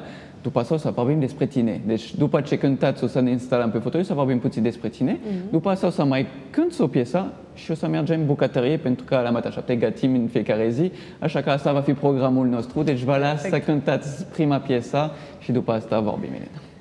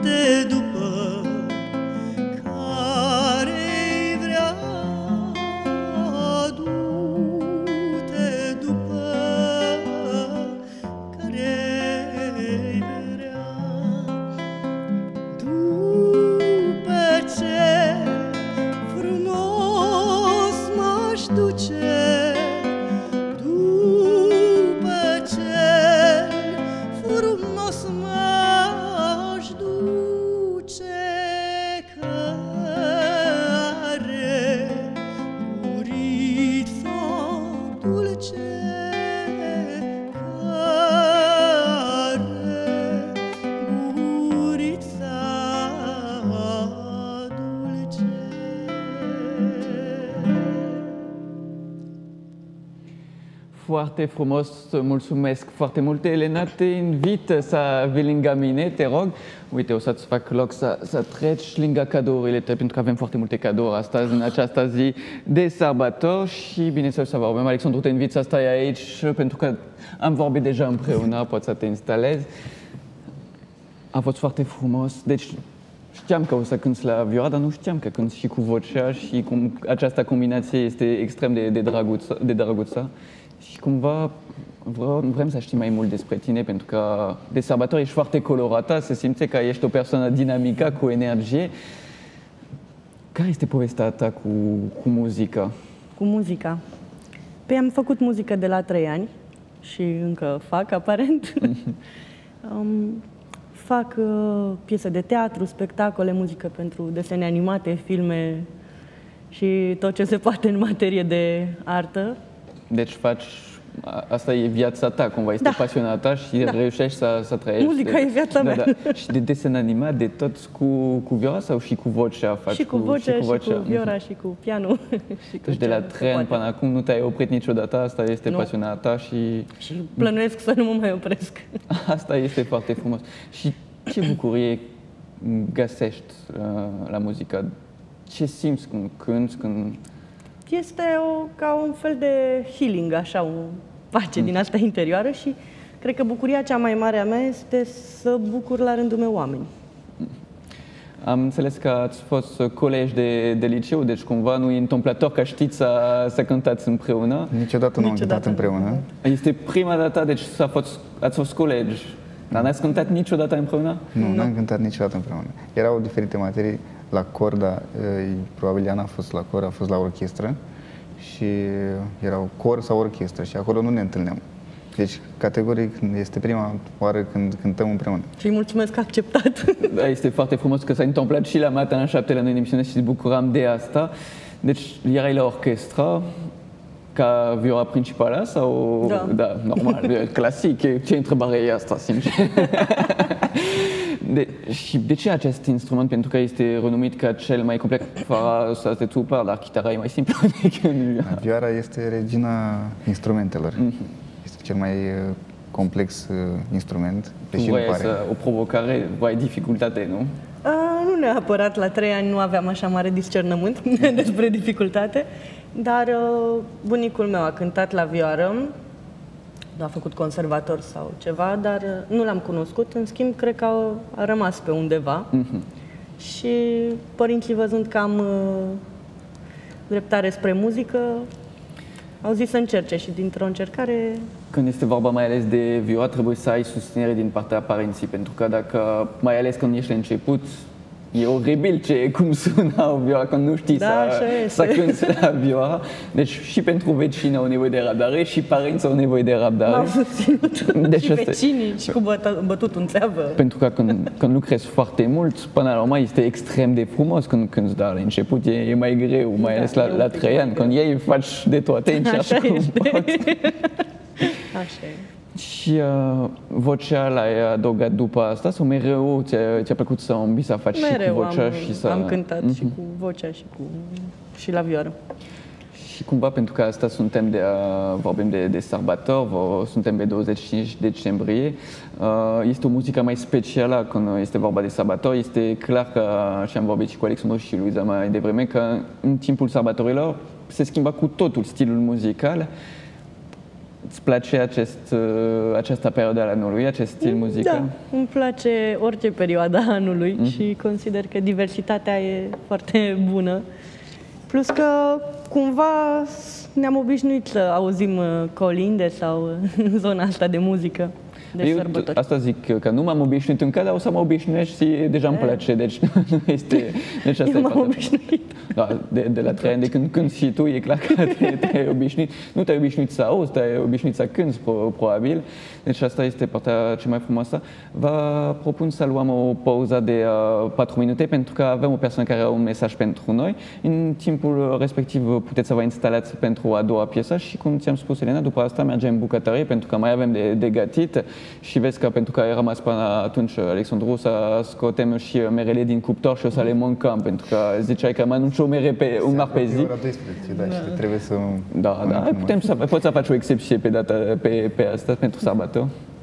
Deci vă propun să ascultăm acest mesaj. Este un mesaj care ne vine de o persoană foarte cunoscută, pentru că este vorba de Miaela Tatu, care a acționat în zona televiziunii și, bineînțeles, acum este și coach și are un mesaj pregătit pentru asta, pentru noi, pentru voi acasă, așa că rămâneți cu noi, urmărim acest mesaj și urmează a doua piesă cântată de Elena și Alexandru.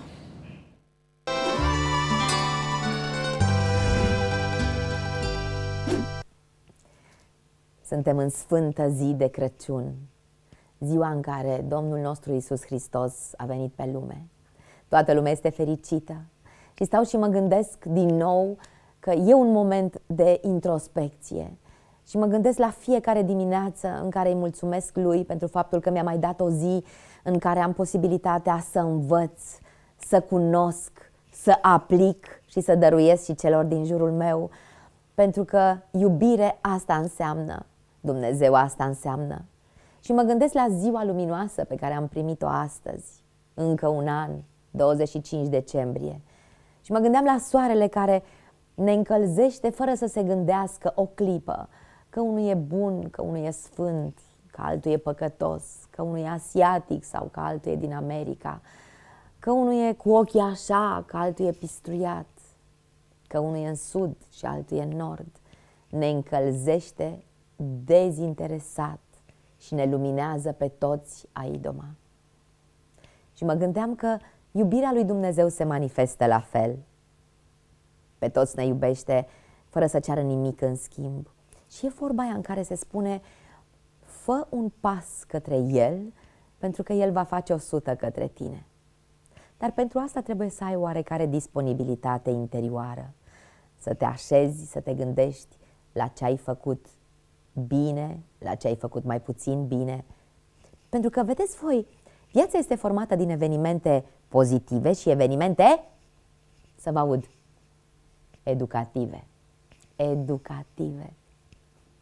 Niciodată nu o să învățăm atunci când totul ne merge bine, când totul este în liniște și într-un confort, poate chiar care ne, ne aplatizează, dar nu simțim nevoia să ne autodepășim.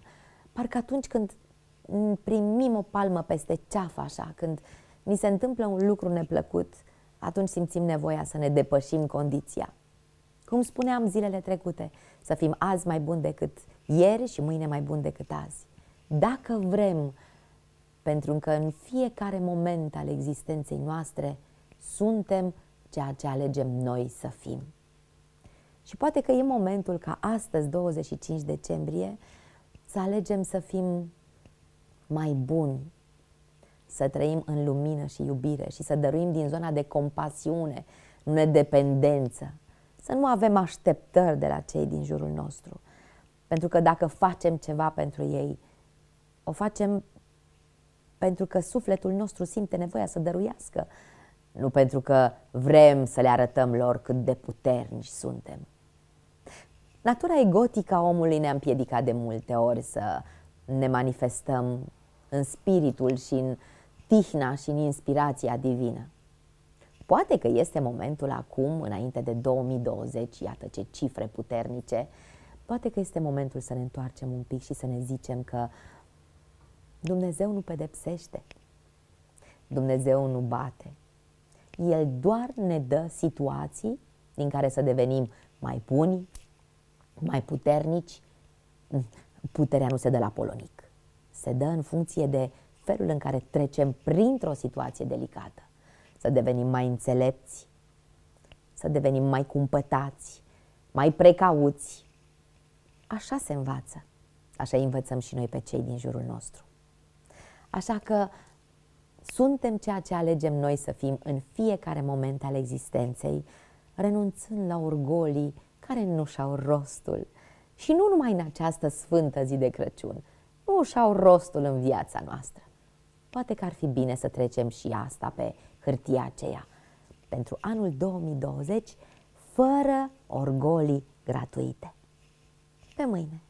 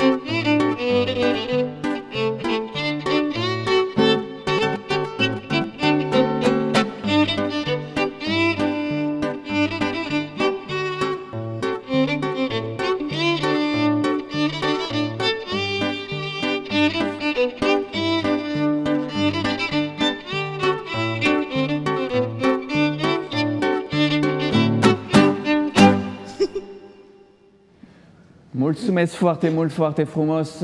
Elena, o să te rog să vii lângă mine în bucătărie și Alexandru, îți mulțumesc foarte mult că mulțumesc. ai cântat pentru prima dată cu Elena de când vă știți de la liceu, deci este o premieră aici la Matin 7 și ne bucurăm de asta.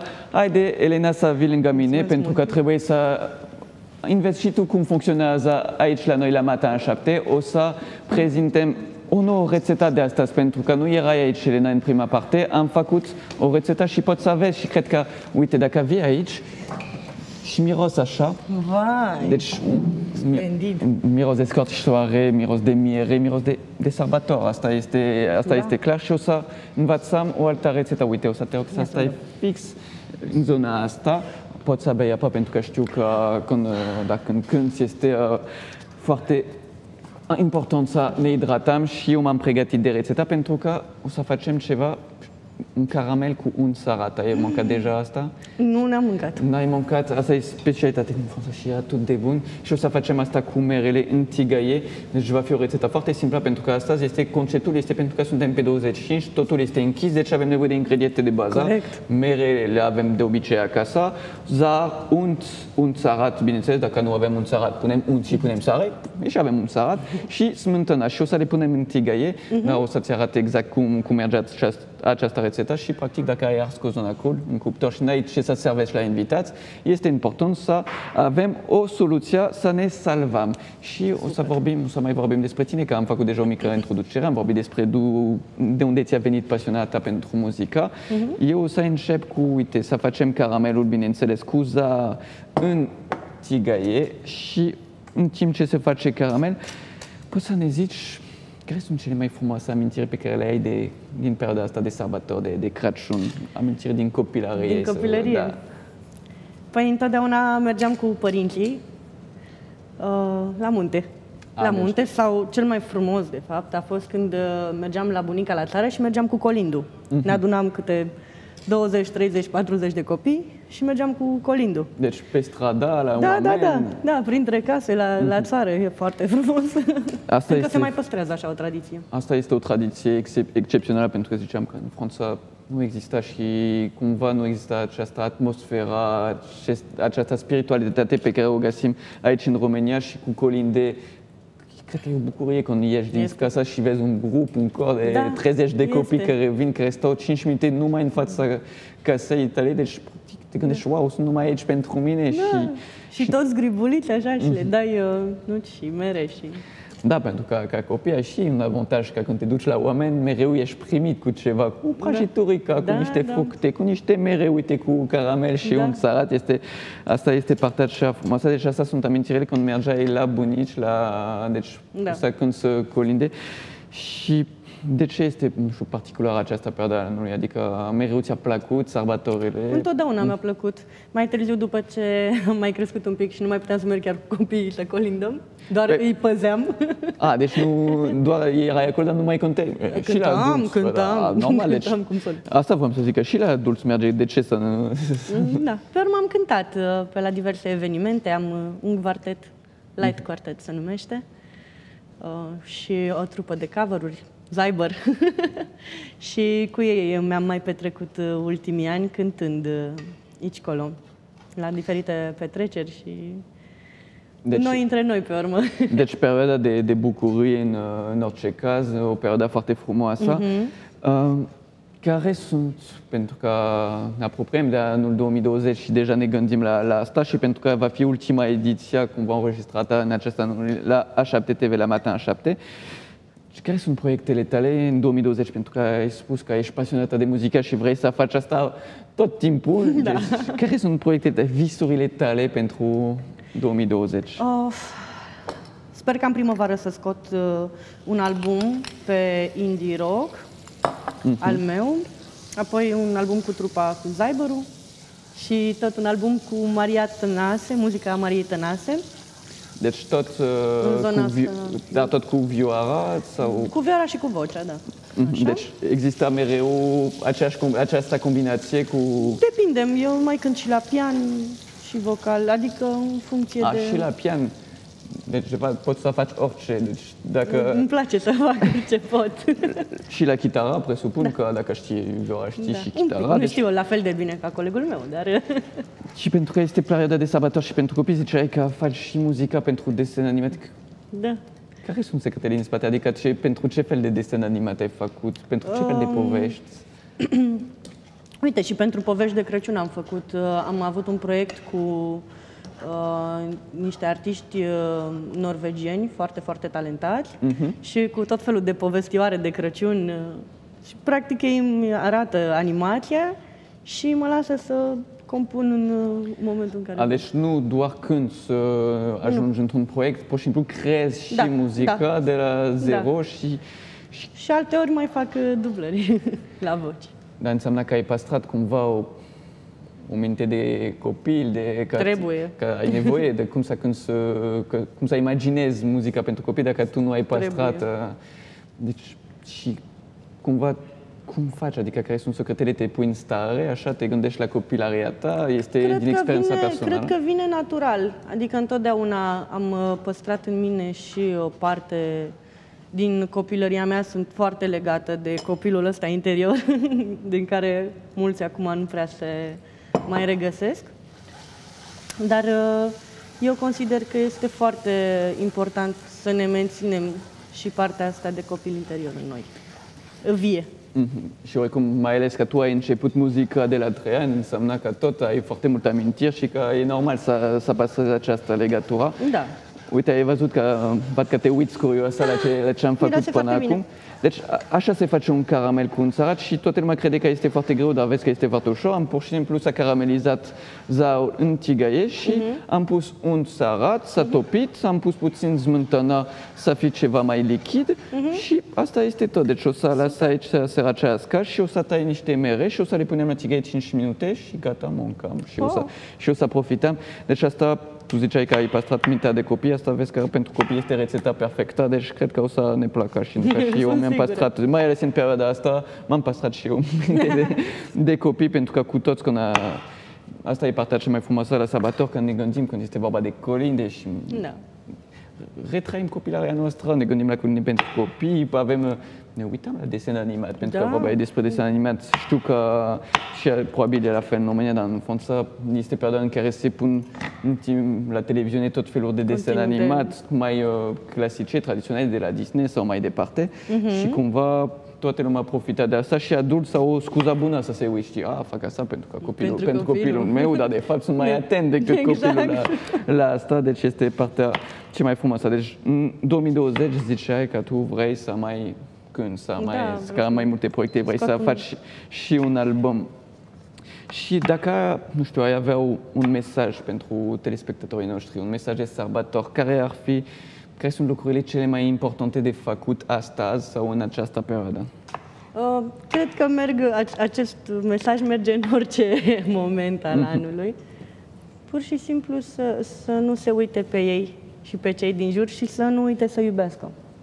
Deci să iubim Da. oamenii, să, Da, da. să mergem pe stradă la Da. bunici, să colindăm, Da, să... cred că cu iubirea se rezolvă tot. uh, Deci asta este un mesaj foarte frumos și cum zici tu, asta e important, că nu se aplică doar asta, dar se aplică și tot anul, Da. fără nicio secundă trebuie, trebuie neapărat să ne gândim cum putem să facem bine, cum putem să iubim oamenii, cum putem să ne apropiem pe plan uh, personal, pe plan spiritual cu Mhm. ei și după asta pluma va fi mult mai frumoasă, pentru că asta este cumva, toată lumea este foarte supărat unul pe celălalt, dar în perioada asta toată lumea e drăguț cu toată lumea și eu aș vrea ca să fii sărbător tot timpul. Tot și timpul, da. Exact, tot anul, să ne gândim că în fiecare zi, mâine sunt sărbători, mâine este Crăciunul și să fim drăguți unul cu celălalt.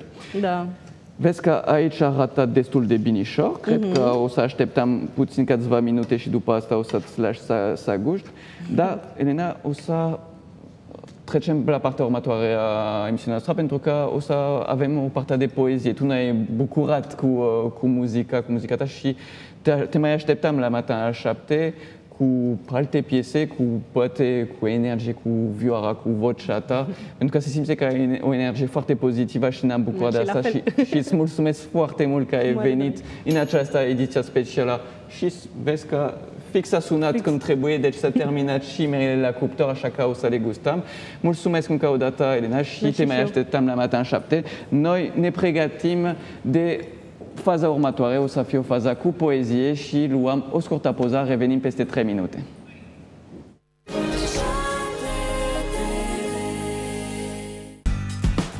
Urmăriți Business la Superlativ, emisiunea care redă profilul unor antreprenori de top și prezintă agenda celor mai importante evenimente din mediul de afaceri.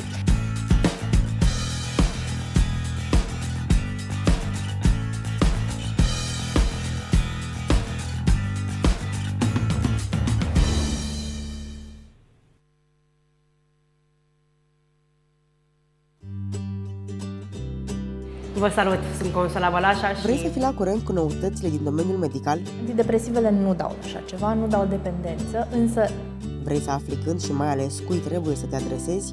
Pe lângă asta avem bariera hematoencefalică din sânge, în creier n-au voie să treacă metalele grele. Nu voi înlocui niciodată vizita la medic, dar îți voi oferi întotdeauna informații de calitate doar de la profesioniști. Implantul de păr nu tratează căderea părului. Te aștept marți, de la ora 19, să stăm împreună de vorbă cu doctorul.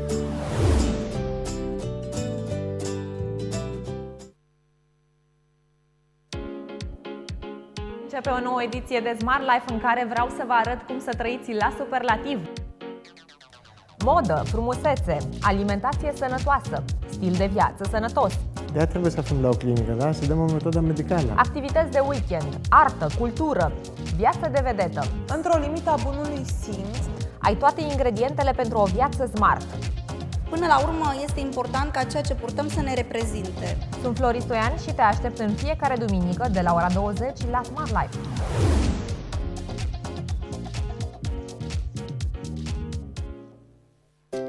Vă salut și îmi face o deosebită plăcere să fiu gazda voastră și în această nouă ediție Mensana. Cum îți dorești să fie porția de sănătate de weekend? Dinamică, actuală, colorată. Este important cum arătăm, dar este și mai important ce se întâmplă în interiorul organismului nostru. care să nu uite de frumusețe, suflet și psihic?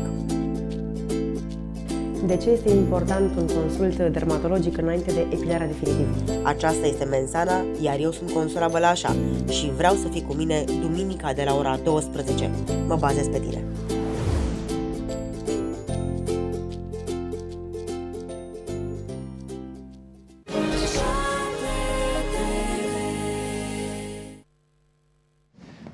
Suntem din nou în studio și m-am așezat fix la timp să ne întâlnim cu Alina Tofa în această dimineață. Bună dimineața, Alina, și bine ai revenit la Matin 7 Bună dimineața, mă bucur să vă revăd din nou. și să ne revedem în această ocazie specială de 25 decembrie de sărbători de Crăciun, pentru că am vrut să facem astăzi un program special, un program care ne va aduce bucurie, un program cumva care ne va pune pe gânduri, pentru că tu ne-a pregătit niște poezie, pentru că am avut până acum partea muzicală și o să avem o parte și de suflet în care o să te ascultăm cu, cu mare atenție, pentru că ne-ai pregătit mai multe poezie și o să te invit să încep cu o prima poezie.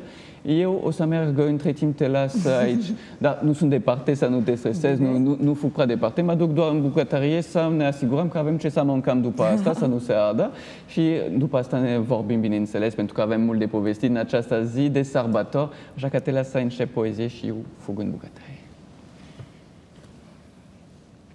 E poezia mea preferată, Dragoste învrăjbită de George Coșbuc. Este partea a doua din poezie.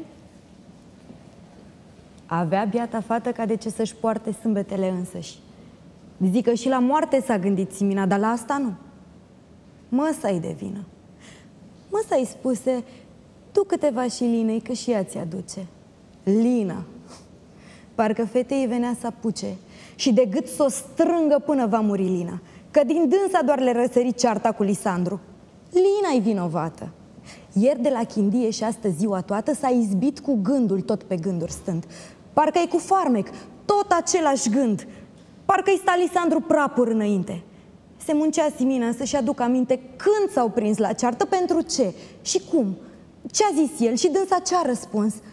Și în drum, cine a fost să audă? El a zis, ei, lasă, pentru atâta lucru nu fi mânioasă. Dacă am zis o iartă, n-am să ți-o mai zic. Ea s-a întors grăbită, n-a răspuns nimic și a plecat. Lisandru într-un suflet vine. Nu te las, Simino! Vreau să mor mai bine, nu te las acasă, stai că faci păcat. Uite, dă-mi o palmă și să fiu iertat. El a hărțuit-o. N-a lăsat-o în pace și o silea să râdă. Hoața se preface. Ea, smucindu-și însă grabnic brațul drept, l-a lovit cu pumnul mânioasă în piept ca să o lase în pace. Și a plecat nebuna. Asta-i ce-o doare, asta, numai una. A plecat. Lisandru, că a trăznit cum sta, a privit în urmă și a strigat așa. Nu te cunoscusem fă mai dinainte, dar așa ți-e portul. Bine, ține minte, de pe mine îți crească iarbă verde în prag. Rău e și Lisandru, dacă are drag într-atâta fata și el știe bine. Cum îl rabdă locul, Doamne? Cum îi vine suflet să mai umble zile supărat pentru o vorbă numai?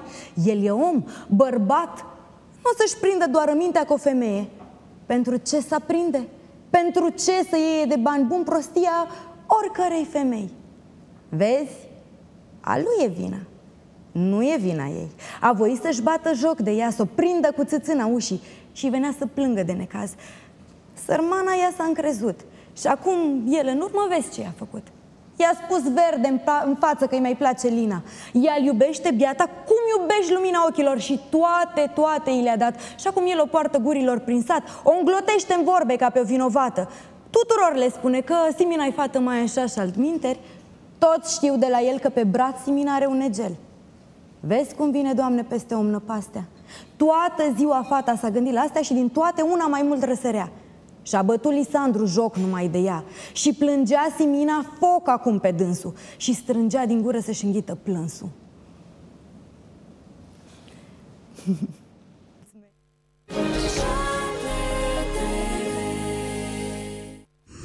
Uh, rămân în direcția de business și mă întorc un pic la baza sigură de venit, dacă vrei tu, și piramida afacerii voastre, uh, Ergoprint, uh, tipografia, piața, industria de tipografie, cum arată în acest moment și cum era în urmă cu 9 ani când v-ați apucat voi de, de asta? O, este o piață foarte fluctuantă. În 2008 a fost o mare criză, ne-a lovit atunci și a fost îngrozitor Piața de print a trecut printr-o criză, dar a ieșit.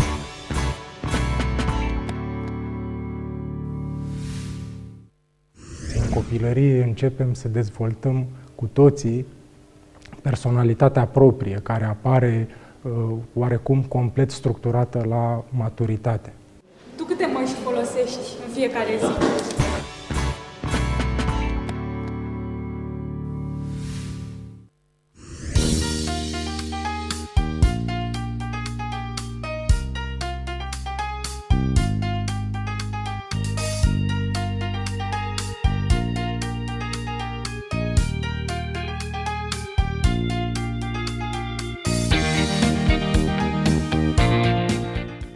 Da. poate prin neuroprogramare să scăpăm de depresia asta care uneori parcă ne acaparează.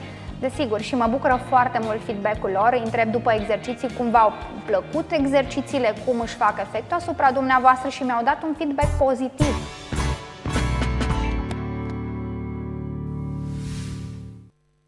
Muzica funcționează pe o partitură, la fel și teatrul, da? Piesa de teatru este o partitură, în care dirijor este regizorul. Regizorul, da, da, așa, așa este. Poți să vezi lucrurile astea. Am și o fotografie acasă cu maestru Liviu Ciulei, era în timpul unei repetiții și îi spunea că e un dirijor. Adevăratele vedete sunt construite având în spate un întreg mecanism, un mecanism în ca, care nu există în România un mecanism uh, pe care până la urmă spun lucrurilor pe nume oamenii care ar putea să-l construiască, făcând, făcându-ne să fim cu adevărat importanți, uh, oamenii aceia nu dau doi bani pe lucrul ăsta. M-am simțit foarte bine pentru că am discutat cu adevărat lucruri importante. De obicei mă duc în interviuri și trebuie să spun lucrul ăsta. Se duc oamenii în aceleași locuri arhibătute și despre viața personală și cum a fost și ce s-a întâmplat cu tine. Lucruri total neinteresante și consider că sunt, nu sunt de folos. Și mulțumesc pentru...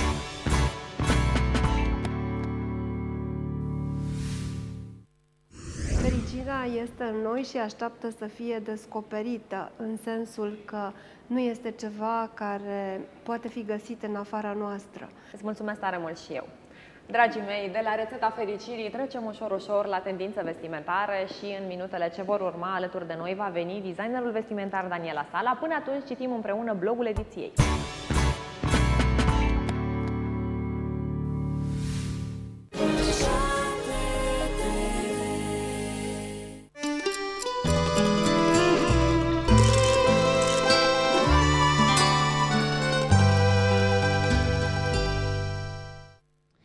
Intrăm deja în ultima bucată din această emisiune, din această ediție specială de sărbători de pe 25 decembrie. Ne-am bucurat de un program muzical până acum și de un program de suflet pentru că Alina ne-a povestit a făcut o poezie foarte drăguță și mai urmează un cadou poezie, așa că rămâneți cu noi dacă vreți să le auziți. Deja știu care este următoare și este, să zicem, un clasic și mai ales pentru această perioadă.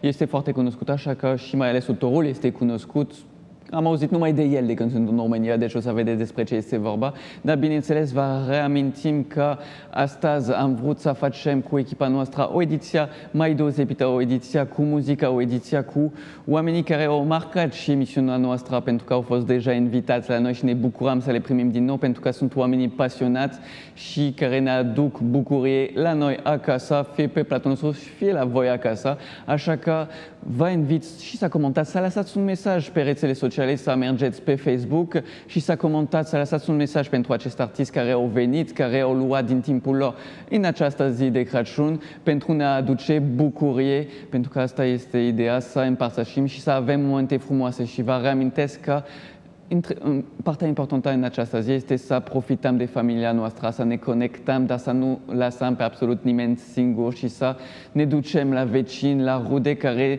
nu primesc foarte multe vizite a lungul anului și să profităm de această perioadă a anului, să mergem acolo, să cântăm colinde, să... pentru orice pretext putem să ajungem, dar ideea este să nu lăsăm pe nimeni singur, asta este cel mai important. Ca program pentru ultima oră, am zis deja că cu Alina o să mai avem partea de poezie și după asta o să avem, o să terminăm emisiunea noastră cu o nouă parte a muzicală și revine o invitată care a cântat deja la Matin 7 acum câțiva săptămâni și ne-a pregătit două piese, două melodie de sărbător și abia așteptam să auzim. Da, trebuie să ne întâlnim astăzi pentru ultima dată cu Abigail și ea ne-a făcut plăcerea să vină la noi în emisiune și acum o să urmărim o rubrică culturală pentru că o să vorbim despre o biserică în care se organizează foarte multe evenimente în timpul sărbătorilor. Este o biserică foarte vestită din Brașov și noi ne revedem peste 4 minute și o să mai vorbim puțin cu Alina Tofan.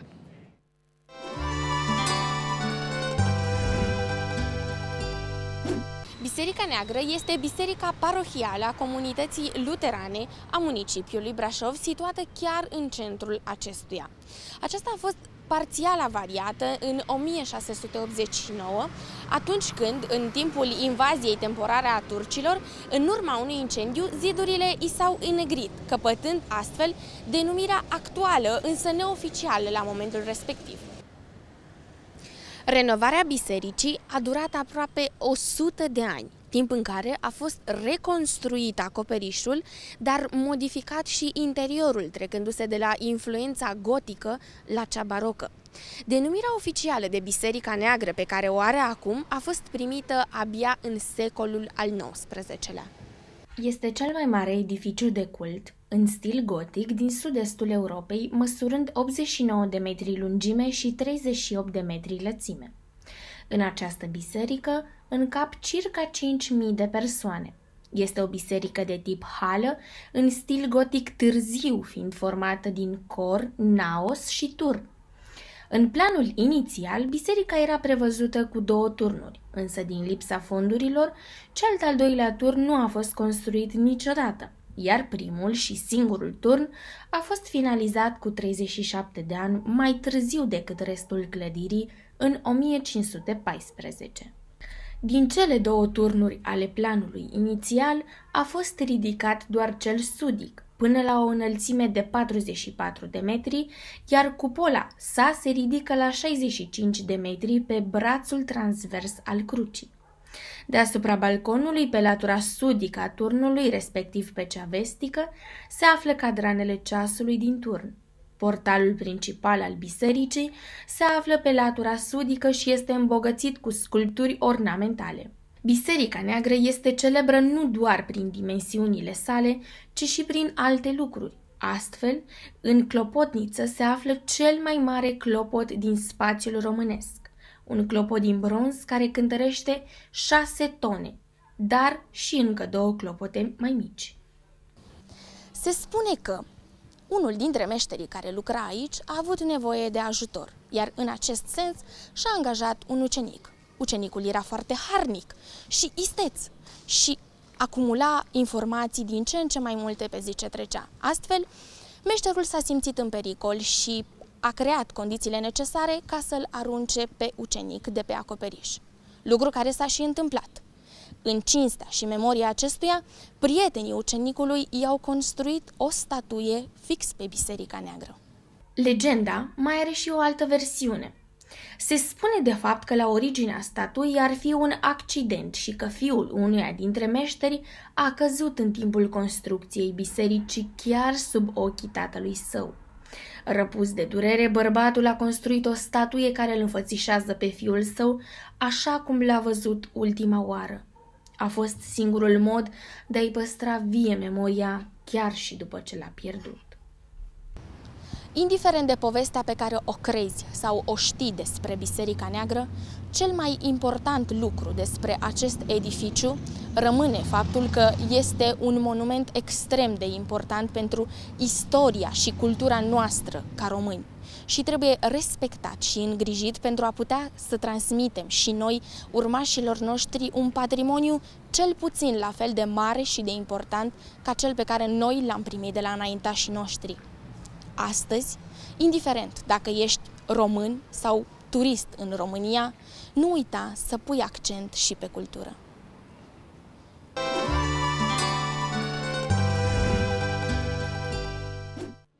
Am revenit în studio cu Alina Tofan. Alina, ne-ai bucurat cu o poezie, poezia ta preferată, ziceai, da. care îl știai de pe din afară. Deci asta mereu mi se pare, bine, ești și actrița, deci este ușor pentru tine, pentru că ești pasionată de, de poezie și de actriță, deci poți să reții lucrurile, dar da. eu n-aș fi capabil să... Unele le mai uit, mai ales dacă au uh, și o încărcătură mm-hmm. emoționantă, importantă pentru mine, le mai uit. De asta am ales uh, să-mi spun poezia preferată, cea pe care am zis-o și la admitere și uh, să mai citesc uh, alte poezii. Da, pentru că, a, deci dacă ai cumva existat încă cu da. deci te, ești copleșită și după asta uiți ce trebuie să, să spui. Deci e partea emoțională, pentru că asta, când vorbim despre poezia, este ceva care ne atinge pe suflet, care ne bucura de mai multe ori, mai ales aici, repet în continuu că există o cultură în România cu poezia foarte uh, profundă, pe care n-am avut, de exemplu, când eram în Franța. Deci, pentru asta am nevoie și de educație. Ziceam că astăzi, cumva, este și o emisiune pentru mine pe, de sărbători, pentru că pe colinde mă pun la punct, că nu, nu prea avem colinde în Franța și nici poezie, așa că mă bucur că ai venit cu noi și că ne, ne faci bucurie de a ne povesti, de a ști poezie pentru noi.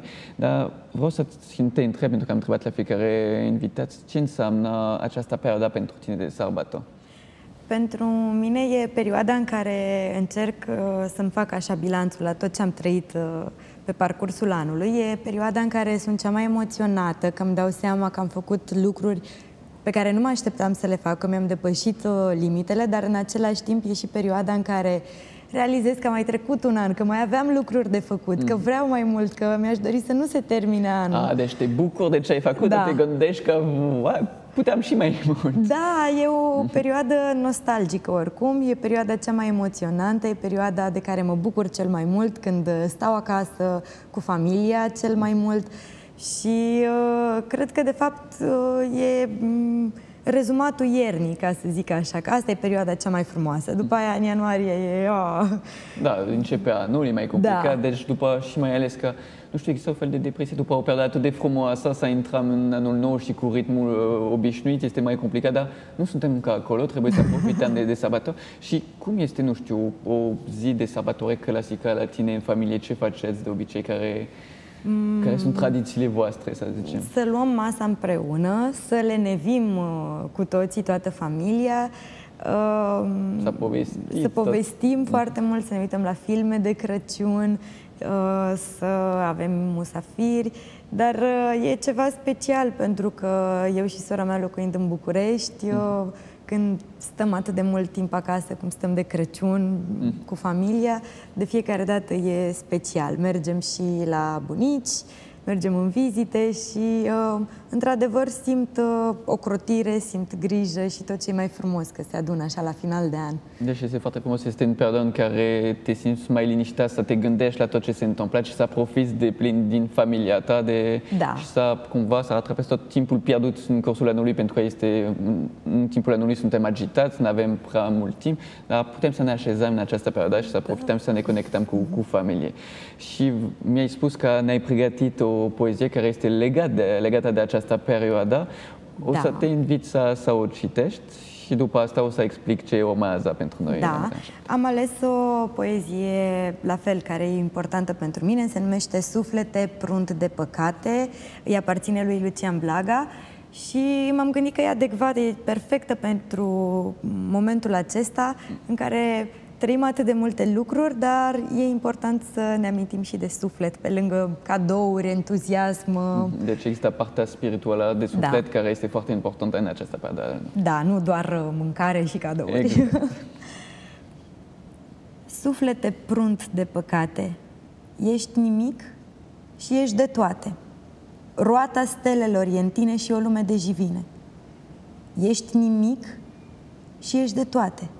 Aer, păsări călătoare, fum și vatră, vrem trecute și pământuri viitoare. Drumul tău nu e în afară. Căile sunt tine însuți, iar cerul tău se naște ca o lacrimă din plânsuți. Foarte frumos. Ziceam că Lucian Blaga este pentru mine cel mai cunoscut pentru că toată lumea îmi povestește de el și înțeleg de ce, pentru că are poezie foarte frumoasă și, cum ziceai tu, este perfect pentru această perioadă. Uite, Alina, îți propun să mergem să ne întâlnim cu Narcisa, colega noastră, cu rubrica E Părinți și Copii și după asta ne-ai pregătit o ultima poezie, deci o să ne revedem fix aici și o să o ascultăm, dar între timp o să vorbim despre relații între părinți și copii și mai ales despre rolul, rolul vindicator al răsului, pentru că este o perioadă de bucurie și trebuie să râdem, trebuie să ne bucurăm de această perioadă și să vedem care sunt avantajele când facem asta, așa că rămâneți cu noi și ne revedem aici în platou după rubrica Părinți și Copii.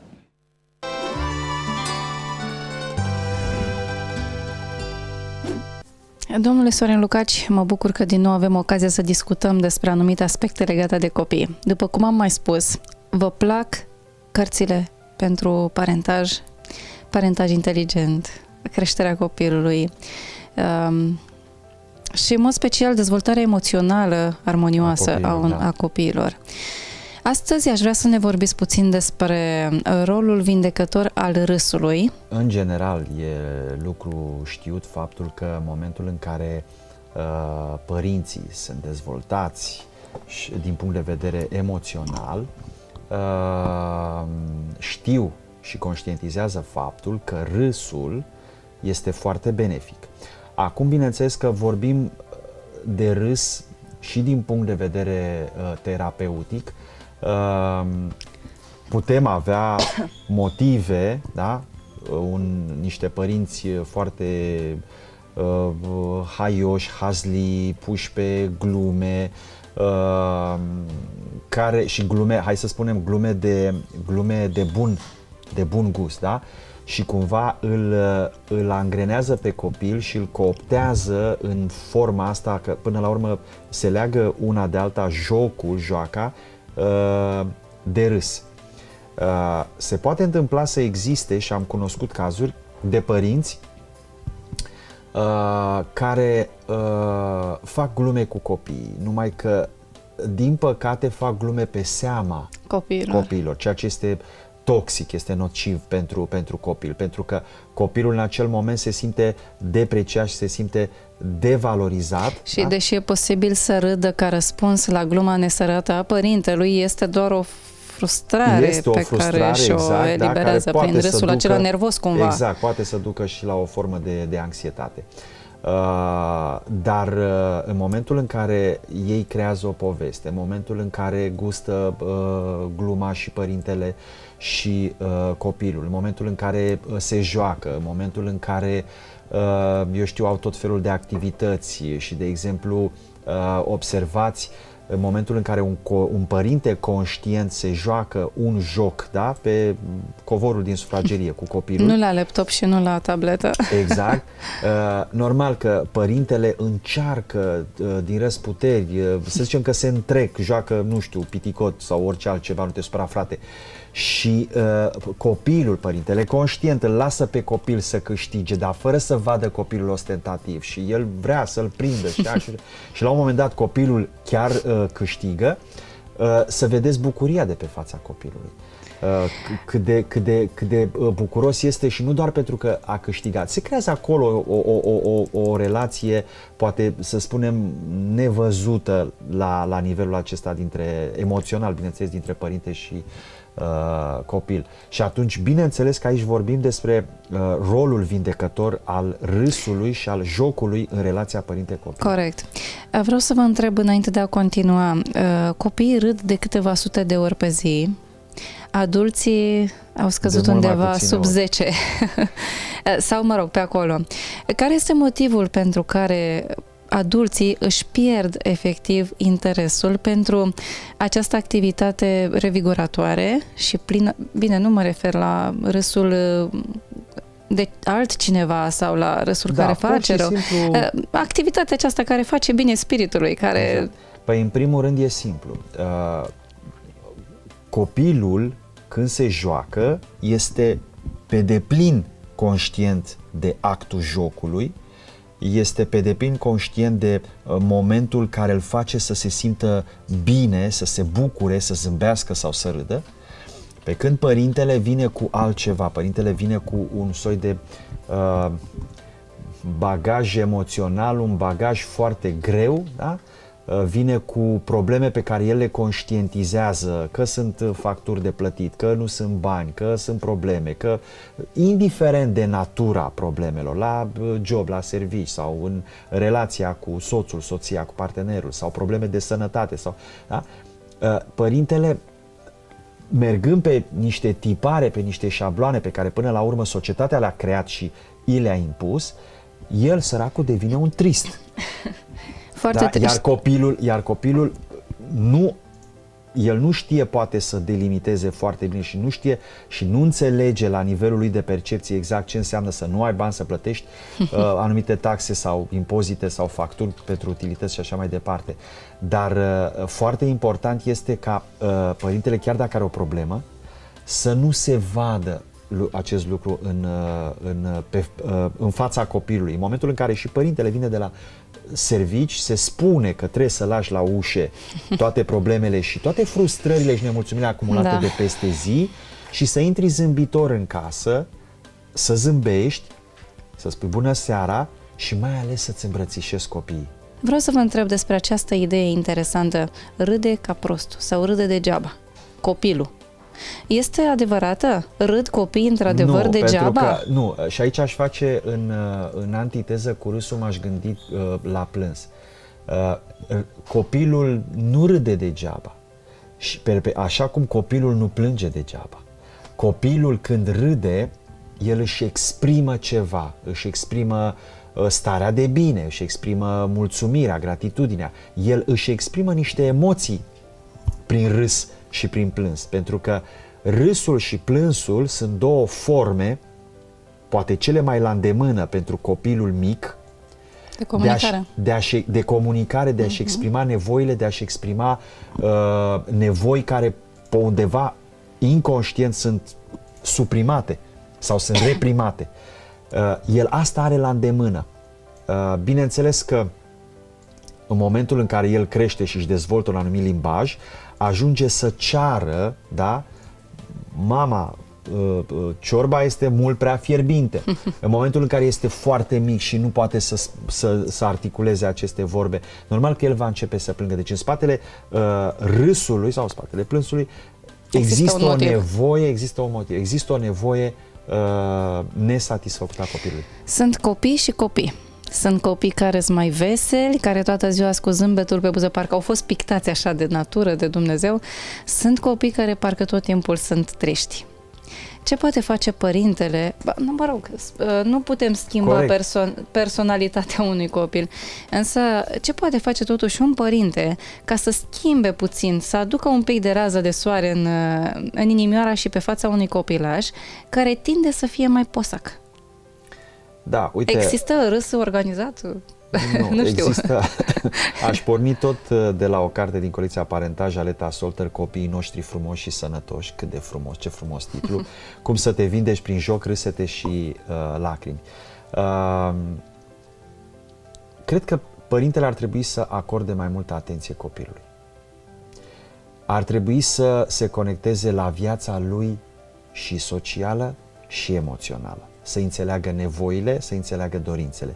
Și atunci, cu siguranță, copilul, părintele va vedea pe chipul, în fiecare zi aproape pe chipul copilului, va vedea zâmbet, pentru că copilul are o nevoie foarte mare de comunicare. Chiar și atunci când copilul uh, are tendința de a ne îndepărta uh, sau are tendința de a nu comunica cu noi, devine ușor superficial și trece peste anumite lucruri și se retrage în camera lui. Chiar și în acele momente noi trebuie să fim empatici, trebuie să fim blânzi, trebuie să fim calmi, trebuie să fim răbdători. Părinții, din păcate, în ultimul timp, din cauza lipsei timpului, părinții nu mai sunt la fel de răbdători. Și părinții au devenit foarte reactivi. Repede ne sare țandăra, devenim nerăbdători, devenim furioși, avem accese de furie, da? pentru că noi venim, ce spuneam, cu acel bagaj, bagaj emoțional. Nu există da. copii triști, ci copii neascultați, neiubiți, neprețuiți? Exact. Da, ați punctat chiar foarte bine. Copiii neascultați, nu neauziți, neascultați. E o diferență. E o mare diferență. Copiii uh, neiubiți sau cărora nu li se arată afecțiunea, dragostea părintească, care este esențială, este vitală. Uh, și atunci, normal că copilul poate uh, deveni ușor uh, anxios și depresiv. Vă mulțumesc tare mult. Eu cu alte cuvinte, să facem niște ședințe de râs cu proprii copii, pentru că acestea sigur ne vor face și nouă bine părinților, dar mai ales copiilor. Vă mulțumesc frumos, Eu domnule Sorin Lucaci. Vă mulțumesc și dumneavoastră pentru că ne-ați urmărit. Vă doresc o zi frumoasă în continuare.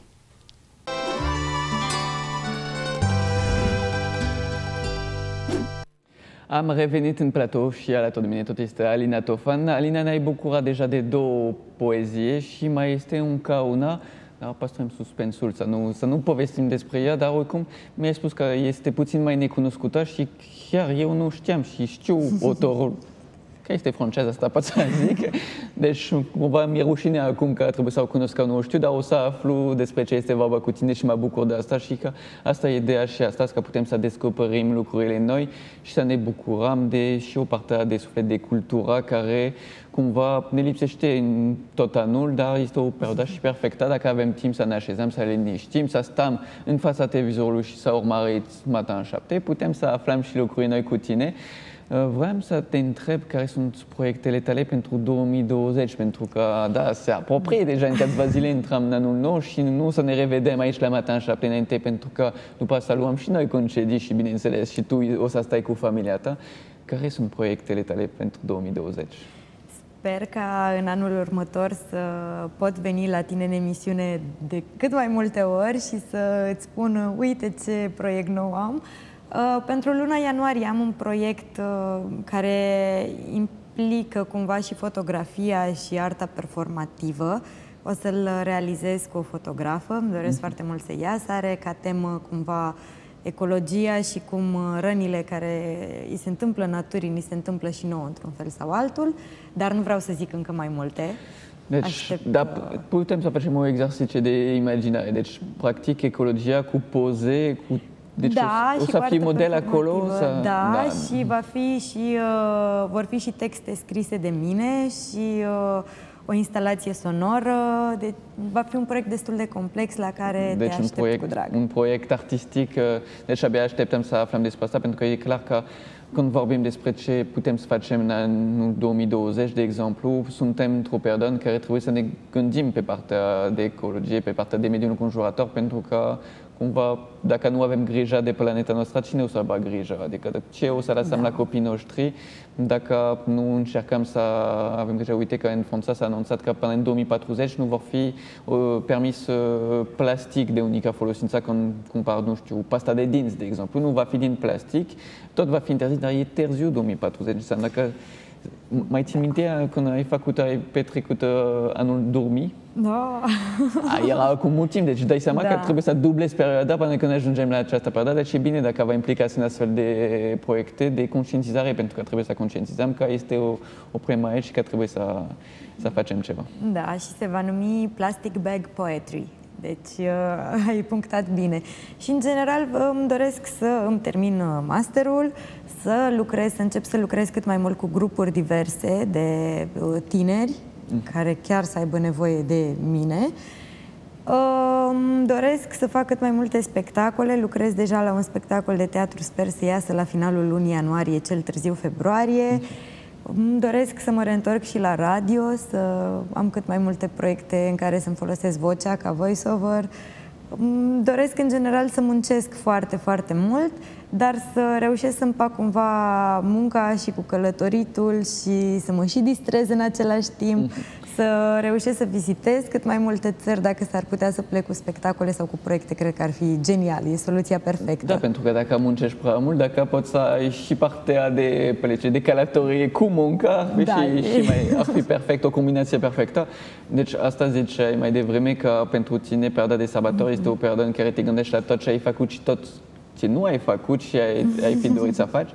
Deci, în 2020 deja vrei să faci cât mai multe și va fi un an în care o să te dezvolți pe plan profesional, da. dar și pe plan familial, presupun că să petreci timp cu familie, asta este și important. Da, practic toate planurile astea profesionale sunt uh, realizabile doar dacă sunt sănătoase, dacă familia mea e bine uh-huh. Și dacă suntem fericiți și ne înțelegem bine, pentru că e o condiție importantă și chiar voiam să spun asta, că acum că e Crăciunul, că vine noul an, îi invit și pe cei de acasă să-și acorde timp lor, familiei, mm-hmm. să nu-i mai neglijeze pentru alte lucruri mai importante și să se bucure de fiecare clipă petrecută alături de cei dragi. Deci asta este mesajul tău de da. sabatos, este un mesaj foarte frumos chiar dacă este perioada perfectă să ne gândim la ceilalți, să mergem în familie, să petrecem timp, dar este și perioada bună să ne gândim că putem să facem asta tot timpul și că să fie doar un început. Ok, profităm din perioada asta, dar trebuie să, avem, să ne facem promisiune că o să ne întâlnim mai des, că o să luăm timp, pentru că timpul ăsta de calitate nu se recuperă. Mm. Dacă un proiect profesional nu iasă, putem să găsim un alt proiect. Dacă nu petrecem timp cu prieteni, cu familie, dacă nu avem momentul de împărtășire, mm-hmm. nu se recuperă da. niciodată dacă nu profităm când, când se poate. Deci, Bineînțeles că, Alina, te mai așteptăm la, la Matan 7 pentru că ți-am spus și uh, re, uh, reiau această invitație când ai un proiect, când va fi gata spectacol, acest proiect, te așteptăm aici să ne povestești mai mult despre asta și o să te rog să ne povestești puțin despre de ce ai ales această poezie, care este povestea ei. Da, e o poezie haioasă care amintește cumva că indiferent de ce trăim, să nu ne lăsăm prea aduși de val și de visare, să rămânem totuși cu picioare picioarele pe pământ, pentru că uneori uh, visele ne mai și păcălesc, ne mai avalu. Și ziceam că eu nu știu și mi-e rușine pentru că este de, la, de Jean de La Fontaine, deci un autor de fable, de fabule foarte cunoscut. Deci la școala cumva, în Franța nu învățăm foarte multe poezie, dar de Jean de La Fontaine e clar că învățăm zeci de la el, dar de asta nu o știam, deci o să te invit să o citești și să descoperim cu toți despre ce este vorba. Sigur, se numește Lăptăreasa și oala cu lapte mai rar decât Petruța nevastă mai cu sârg. Sculându-se într-o sâmbătă de noapte, își puse pe oblatnic o oală grea cu lapte sperând să o ducă teafără la târg. Îmbrăcată ca de cale, cu pestel și cu sandale, ca să-i fie mai ușor se gândea în gând de zor. Banii din vânzarea nouă am să-i vură niște ouă. Patru cloște am să pui și am să scot atâția pui. Fură gaia 8 sau 9, însă tot rămân destui. Și vânzându-i frumușel, am să îngrași un purcel, iar cu banii de pe el cumpăr vacă și vițel. Uite, parcă-l văd cum sare prin cioporul de mioare. Și sărind și ea la fel, a vărsat întreaga oală pe cărare. Adio cloșcă, pui, purcel, adio vacă și vițel. Acasă, ca să scape de bătaie, a depănat o întreagă de nănaie. Ne ademenește visul cu momele, dar iată că o clipă destramă toată cazna. Au cine nu apucă din când în când și razna și n-a visat să-și facă în Spania castele. Bărbați, femei și ei și ele visează treji adesea paradisul. Nimic nu-i mai plăcut decât e visul, că te strămută în lună și în stele și tot ce vrei îți dăruie. Palatele, iubirile, măririle și tot ce văd și jinduiesc privirile. Dar vraja lui prea repede se năruie. Cu toate că știu bine că visul veșnic minte, tot mai visez și eu din vreme în vreme că sunt un padișah cu diademe. Dar mă trezesc curând din nou cu minte, tot Alina ca mai înainte. Foarte frumos, deci e clar că nu știam, dar este foarte aioasă, cum ziceai tu, și există o morală de fiecare dată când este vorba de Jean de La Fontaine, este o lecție în fiecare uh, poezie pe care el le-a scris. Alina, îți mulțumesc foarte mult că ai luat din timpul tău să vii de sărbător, să petreci puțin timp cu noi, cu telespectatorii noștri, să ne bucur de poezie, să ne bucurăm cu toți de poezie și, bineînțeles, te mai așteptăm la Matin 7 în 2020 să începem anul împreună. Dragi telespectatori, vă invit să ne întâlnim acum cu Elena Santos, pentru că dacă n-ați făcut încă, n-ați pregătit masa de sărbători, dacă vă pregătiți pentru în seara asta să primiți familie la voi acasă, aveți nevoie de mai multe sfaturi să câștigați timp și să vedeți cum puteți să aranjați o masă frumoasă. Că vă invit să rămâneți cu noi, o să aflăm toate secretele despre acest subiect și începe rubrica Acasă cu Elena.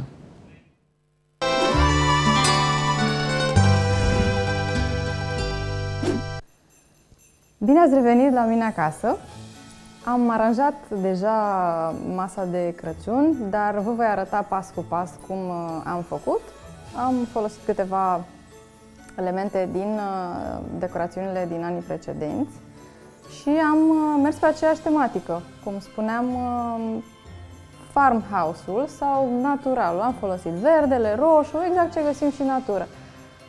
Și nu în ultimul rând am vrut să fie cât mai simplă masa, cât mai elegantă, pentru a fi tot mie ușor când voi avea oaspeții la masă, să pot să manevrez toate crătițele, nu așa? Cu sarmale, cu salata de bof, cu ce are fiecare în lista deja făcută de dinainte. Și haideți să vă arăt exact cum am uh, aranjat eu pas cu pas atât de frumos masa. Centrul mesei m-am gândit să folosesc uh, din ceea ce aveam uh, din anii precedenți, dar reutilizate în alt fel. Avem aici o fundă.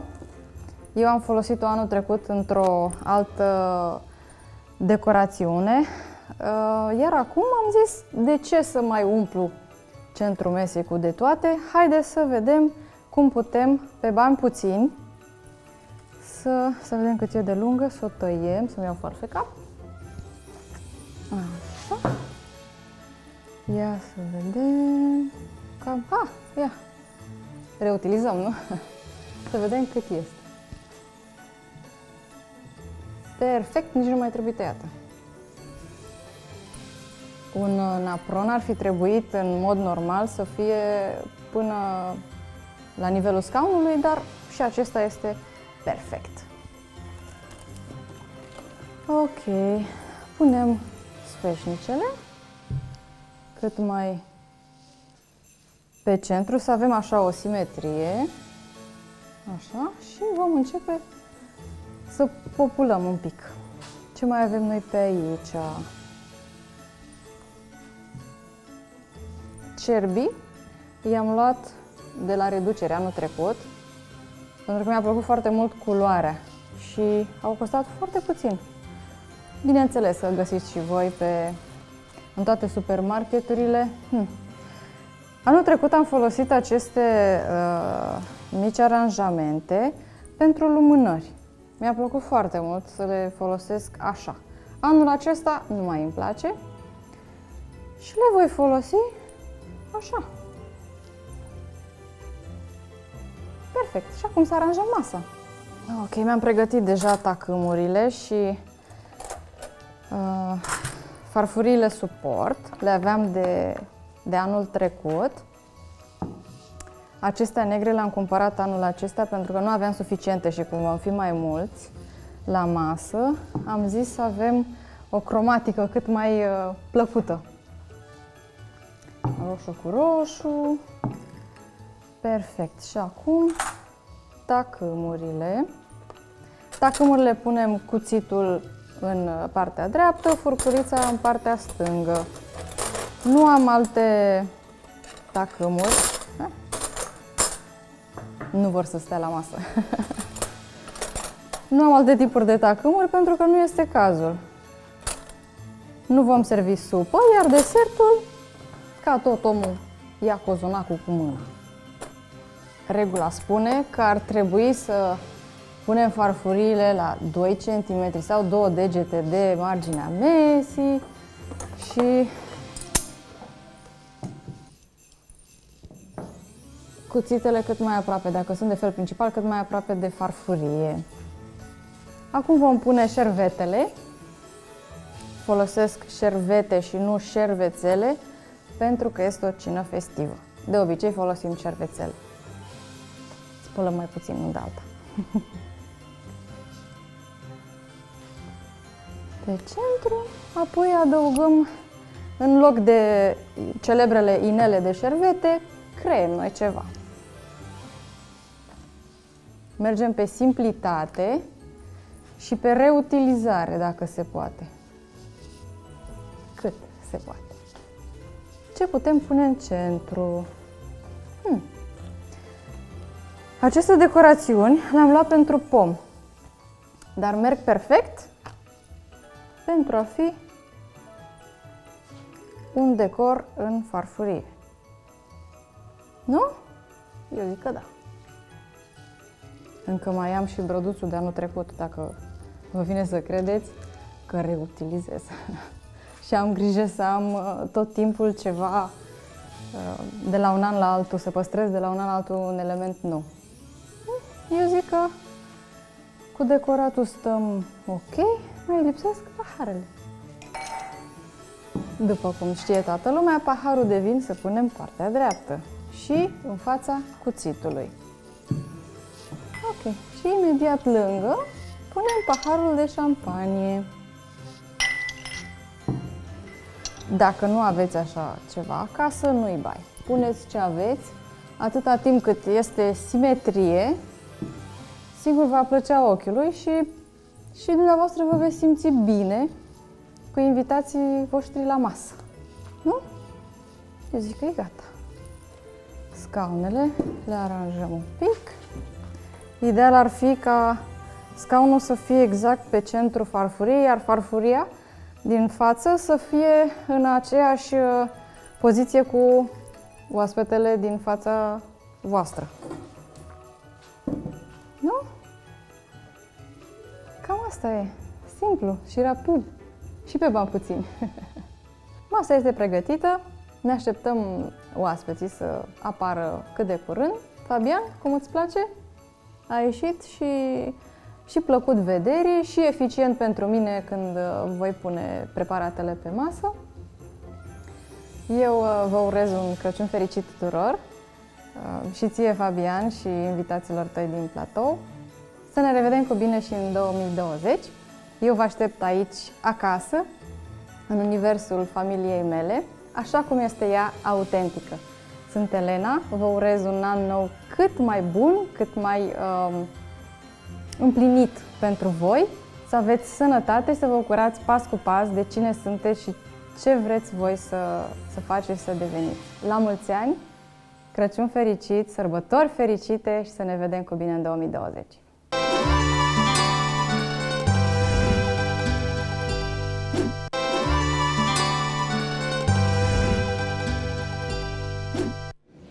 Am revenit în platou și o să continuăm programul nostru special de sărbători pentru această data de 25 decembrie și o să continuăm programul nostru muzical cu Alma. Alma, mulțumesc foarte mult că ai luat din timpul tău de sărbători să vii cu noi la Matin 7. Cu tot dragul. Bine ai venit, bine ai revenit, erai prima persoană care ai cântat.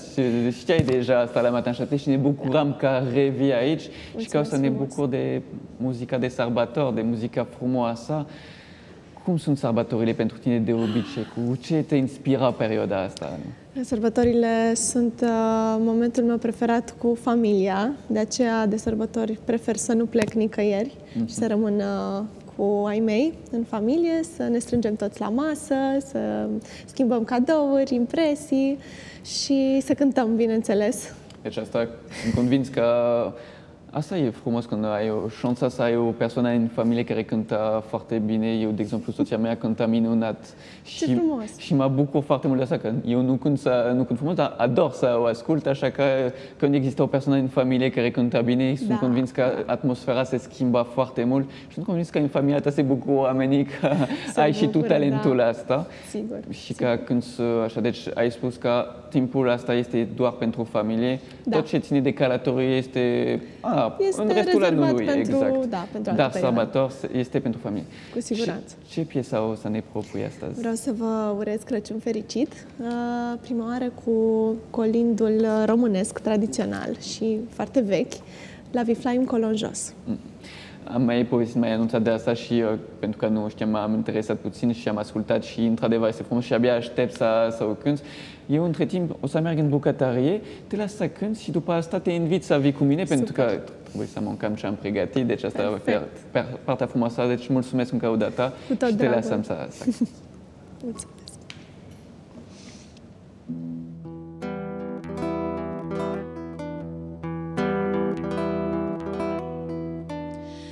La Vivlaim colo jos, cerul arde luminos, prea curada naște astăzi pe Hristos.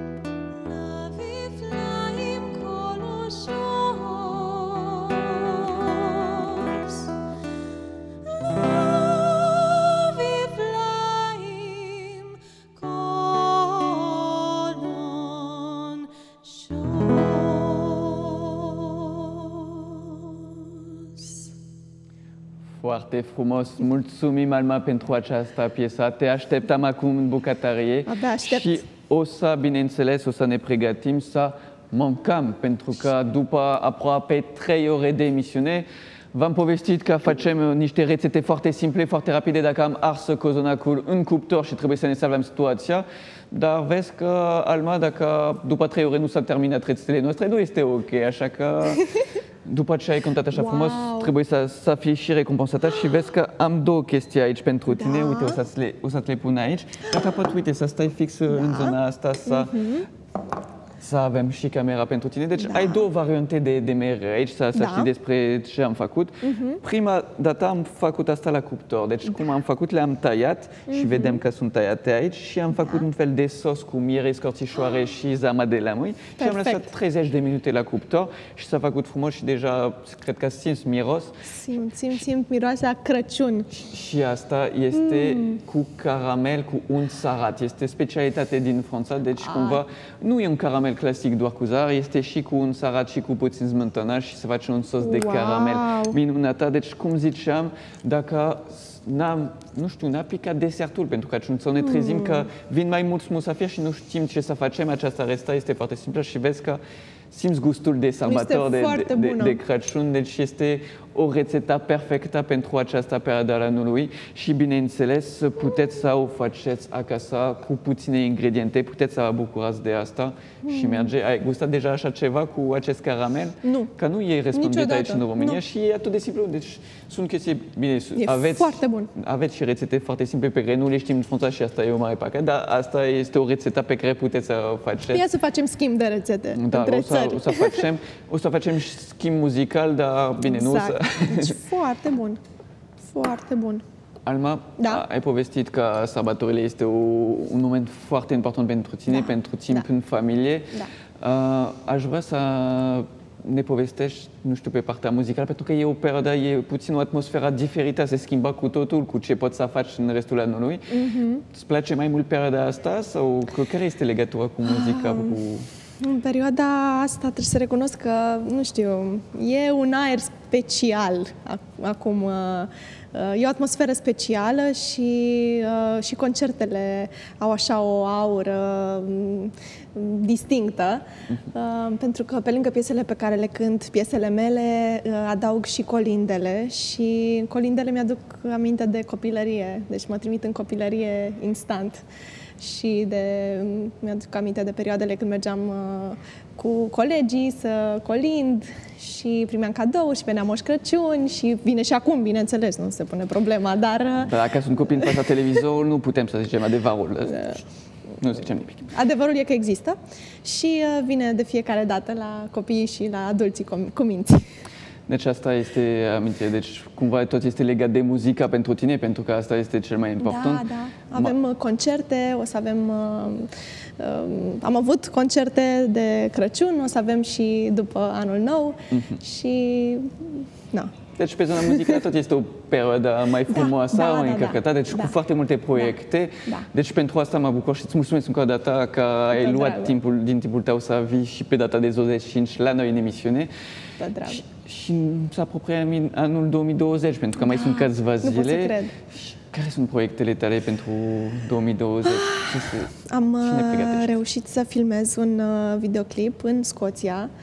Uh, A fost pentru prima oară când am pășit pe tărâm scoțian și mi s-a tăiat răsuflarea când am văzut... Ai mers uh, pentru acest clip sau ai mers Am în mers, concediu și uh, te-ai gândit, "A, este frumos, o să fac și un clip acolo. Da, da. Prima, prima idee a fost aceea de a vizita Scoția prima oară și după aceea eu, prietenul meu și el muzician, Ciprian Iacob, ne-am gândit dacă tot mergem până acolo, că nu mergem în fiecare zi, hai să tragem niște cadre pentru Da, un deci clip. cu Ciprian ai, ați ales să aveți partea de bucurie în călătorie și să Da. faceți și ceva util, să Da, zicem, da. și ceva frumos pentru spectatorii voștri. Absolut. Deci, Abia aștept să-l vadă. deci ne pregătești acest clip, o să-l găsim pe pagina ta de, de YouTube. De Dacă- YouTube, pe Facebook, pe Instagram o să fie peste tot. Dacă O poți să ne amintești unde putem să te urmărim, să... Uh, Pe mine mă găsiți uh, pe Facebook, Alma Nicol, pe site-ul meu oficial, almanicol.ro și pe Instagram, tot așa, Alma Nicol.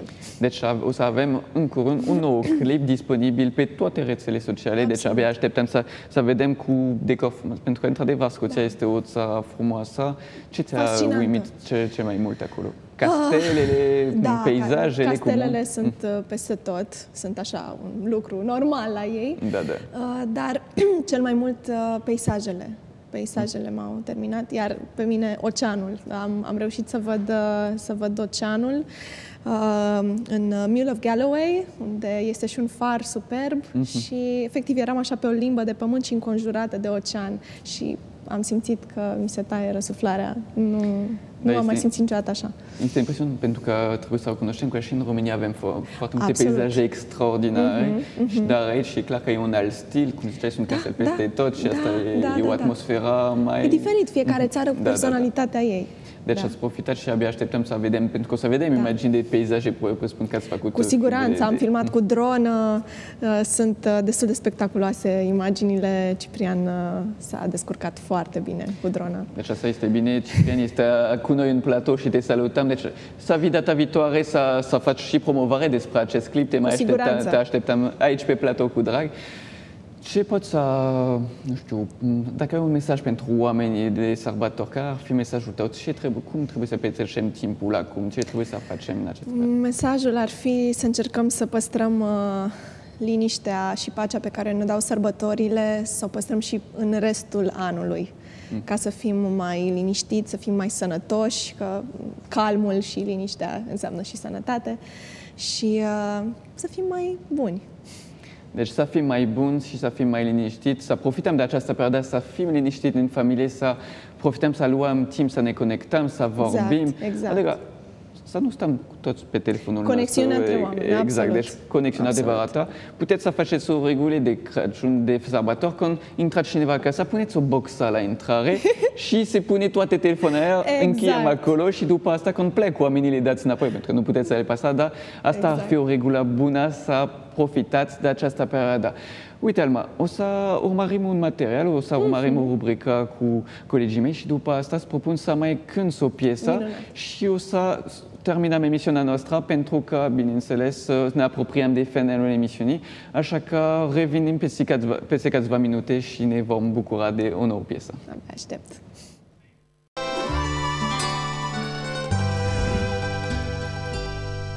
Salut Fabian, bună dimineața dragi prieteni, în această ocazie este Ștefan Enache alături de noi, îți mulțumesc încă o dată că ești prezent.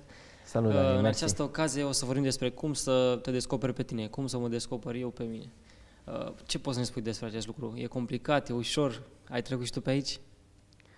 Um, e complicat să te descoperi pe tine. De ce? Pentru că trebuie... Primul element ca să te descoperi pe tine este sinceritatea. Ce înseamnă să te descoperi pe tine? Ce înseamnă să te descoperi pe tine? Uh, înseamnă să îți dai seama ce ești, Ce îți place să faci sau... ce gândești, ce, să-ți dai seama ce ești. Mă gândeam cum aș putea să definez mai bine ce înseamnă să te descoperi pe tine. Uh, înseamnă, cred că, să-ți dai seama atunci când îți vine un gând de unde îți vine. Când uh, scoți ceva pe gură, de ce scoți și de unde scoți pe gură acel lucru. Când uh, acționezi într-un anumit fel, de ce acționezi în felul respectiv. Um, când alegi ceva, de ce, ace- de ce alegi acel lucru? A, Cred că asta înseamnă să, să te cunoști pe tine. Și ca să te cunoști pe tine, cel mai important element e să fii sincer cu tine. Dacă nu poți fi sincer cu tine, n-ai cum să te cunoști pe tine. Pentru că eu trebuie să recunosc de ce, de exemplu, să zicem că eu stau cu tine într-o, într-o anumită circunstanță și să zicem că râd din, din complezență cu tine, da?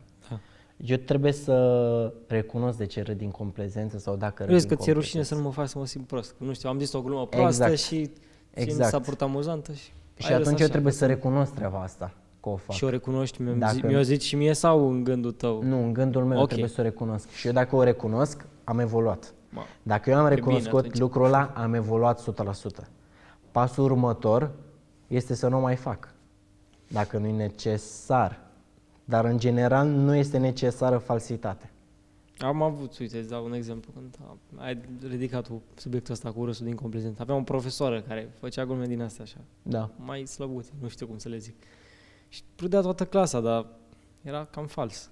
Da. Nu știu cine se gândea că râdem din complezență sau nu.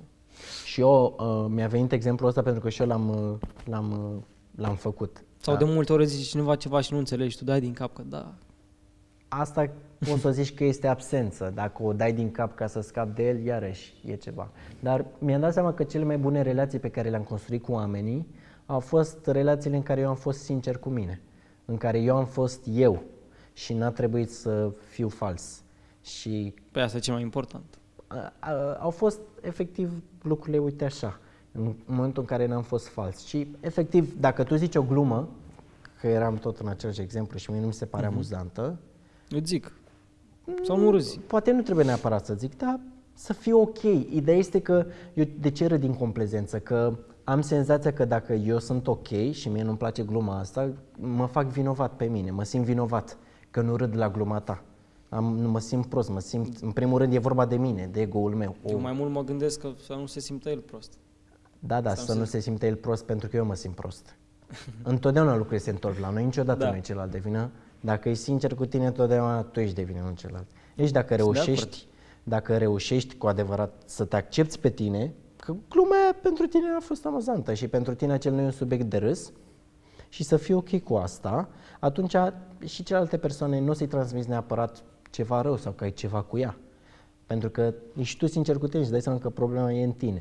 Și în momentul în care o rezolvi cu tine și te accepti, accepti acest lucru, iarăși chestia asta cu acceptarea e în ziua de astăzi când zici eu mă accept, eu pot să mint și să zic că mă accept așa cum sunt, dar nu despre asta vorbesc, despre a te accepta în momentul în care faci ceva greșit. Nu, ci a accepta că ai greșit și să corectezi. Că nu ai cum să corectezi dacă nu accepti că ai greșit.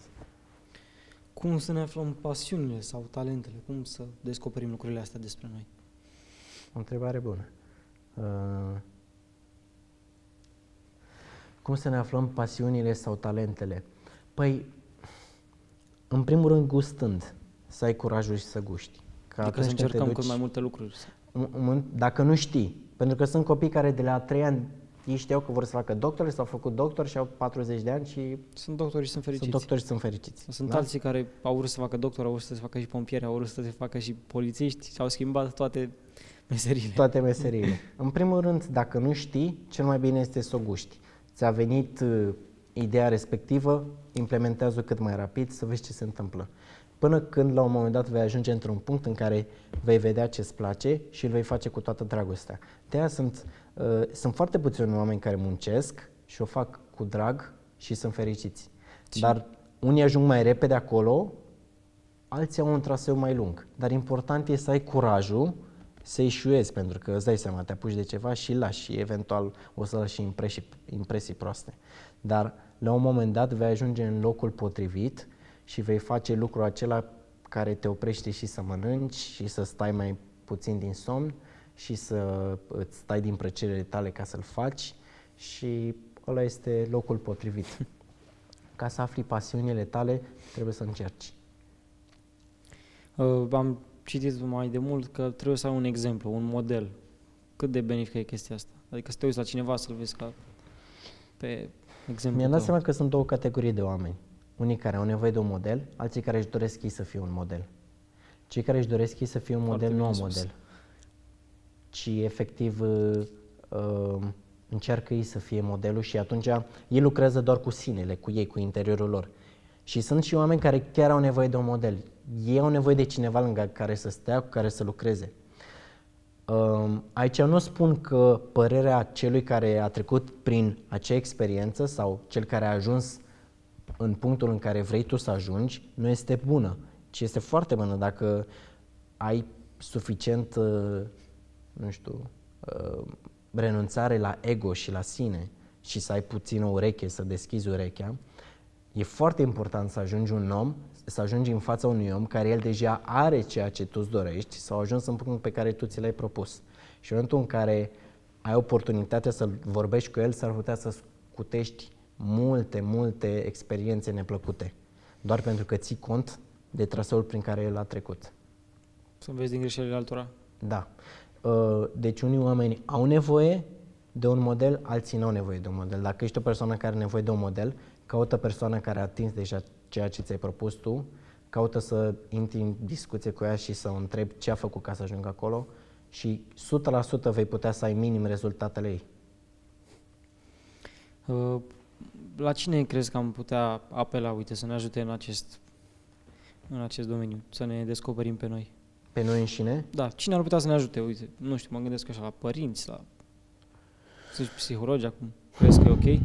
Dacă ai nevoie de ajutor, um, e, Adică mă gândesc că e sunt unele foarte- persoane care, uite, nu pot singure. Dacă ai nevoie de ajutor, da, și nu poți singur, e foarte important să ai lângă tine un om care, cu care, lângă care să fii tu. Să fii tu și să nu trebuiască să-ți pui măști sau să fii inconfortabil. În momentul în care ajungi și ești lângă un om care să fii tu, de fapt am greșit, am, f- am zis o greșeală, o prostie mare. Înconjurată de oameni care, în- lângă care nu poți fi tu. Pentru că așa te vei descoperi. Așa îți vei da seama de ce faci ceea ce faci. Pentru că te vei sesiza, vei vedea că tu nu ești acel om. Atunci cum ești tu? Așa, ok, deja ai descoperit. Dacă ești lângă un om lângă care te simți foarte bine, lucrurile dai doar seama merg, că- doar da. curg. Îți dai seama că nu știi de fapt cine ești. Nu știi cine ești. Și în momentul în care ajungi într-o situație în care tu, de exemplu, trebuie să iei o decizie, nu vei putea să o iei, pentru că nu știi ce trebuie să alegi, ce trebuie să faci. Dragi prieteni, vă mulțumesc și vouă că ați fost alături de noi. Vă doresc o zi frumoasă. La revedere!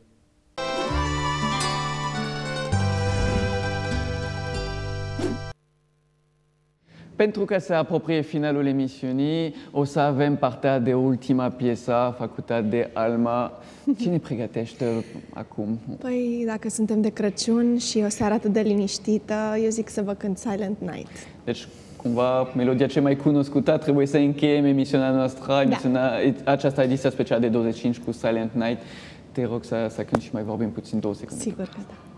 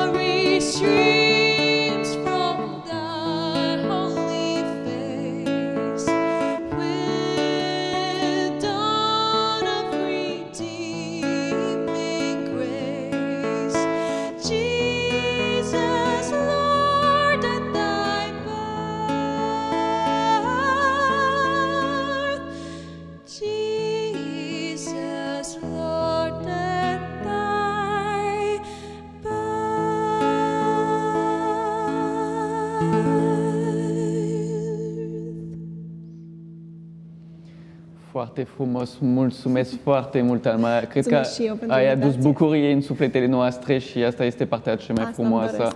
Astăzi și ne bucurăm încă o dată că ai venit și că ne-ai împasat și pasionată pentru muzică și că ai cântat atât de frumos. Mai ales, tare mult. mai ales această piesă care este un punct perfect să terminăm emisiunea noastră, această ediție specială de Crăciun și bineînțeles că, cum am spus mai devreme, te mai așteptăm cu Ciprian, cu proiectul vostru, cu clipul vostru, vă Abia mai așteptăm. așteptăm la Matin 7. Dragi telespectatori, după trei ore de un program special de muzică, de poezie, de suflet, o să ne pregătim ușor, ușor să terminăm emisiunea noastră, o să vă lăsăm să pregătiți, să bucurați de această zi de sărbători de Crăciun în familie. Ne revedem peste două minute și încheiem emisiunea noastră.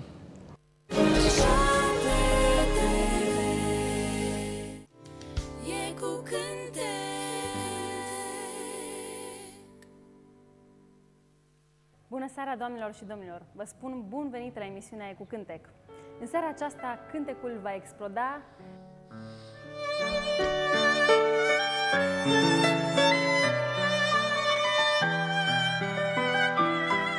Mă bucur și mă bucur că am reușit să ajung cumva uh, să ating aceste performanțe în gimnastică artistică. Mă întorc acasă Cu dor în suflet să plec genunchii și să plâng Că am plecat Am învățat să cânt de la zero, după accident.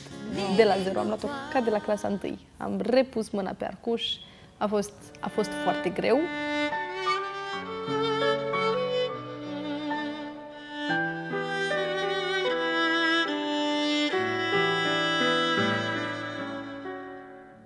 Aș putea să inventez ceva pe care să mă supăr sau ceva, dar el știe, mă se uite la mine, îmi dă pace, n-am cu cine să mă cer.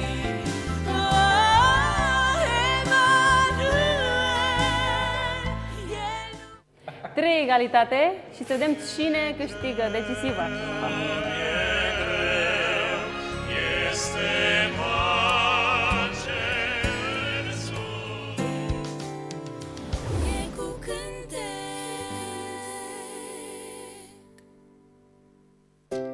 Vă salut și îmi face o deosebită plăcere să fiu gazda voastră și în această nouă ediție Mensana. Cum îți dorești să fie porția de sănătate de weekend? Dinamică, actuală, colorată. Este important cum arătăm, dar este și mai important ce se întâmplă în interiorul organismului nostru. care să nu uite de frumusețe, suflet și psihic? De ce este important un consult dermatologic înainte de epilarea definitivă? Aceasta este Mensana, iar eu sunt Consola Bălașa și vreau să fii cu mine duminica de la ora 12. Mă bazez pe tine.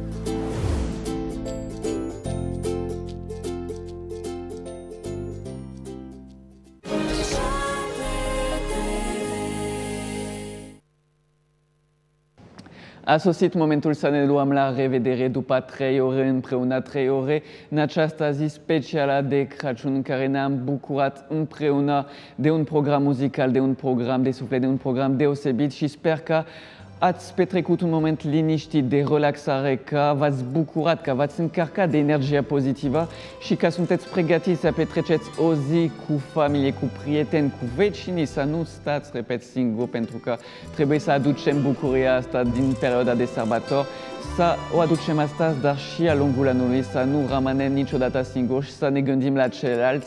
Bineînțeles, să profităm de fiecare clipă cu familie, să ne conectăm, să nu stăm numai la televizor, chiar dacă ați stat trei ore cu noi, puteți acum să închideți televizor și să profitați de familia voastră, de o masă frumoasă, de o masă drăguță, să să vă conectați, să petreceți un timp frumos și vreau să mulțumesc încă o dată echipa noastră pentru că este o echipă care ne-a a lucrat foarte mult la această emisiune și ne bucurăm și vreau să adresez acest mesaj pentru că o să ne revedem abia în direct pe data de 6 ianuarie în 2020.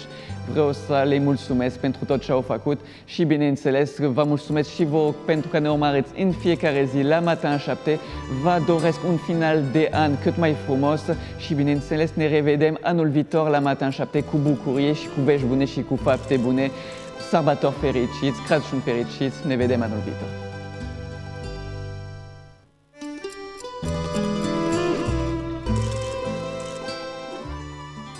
Acest program a fost oferit de Maurer Imobiliare.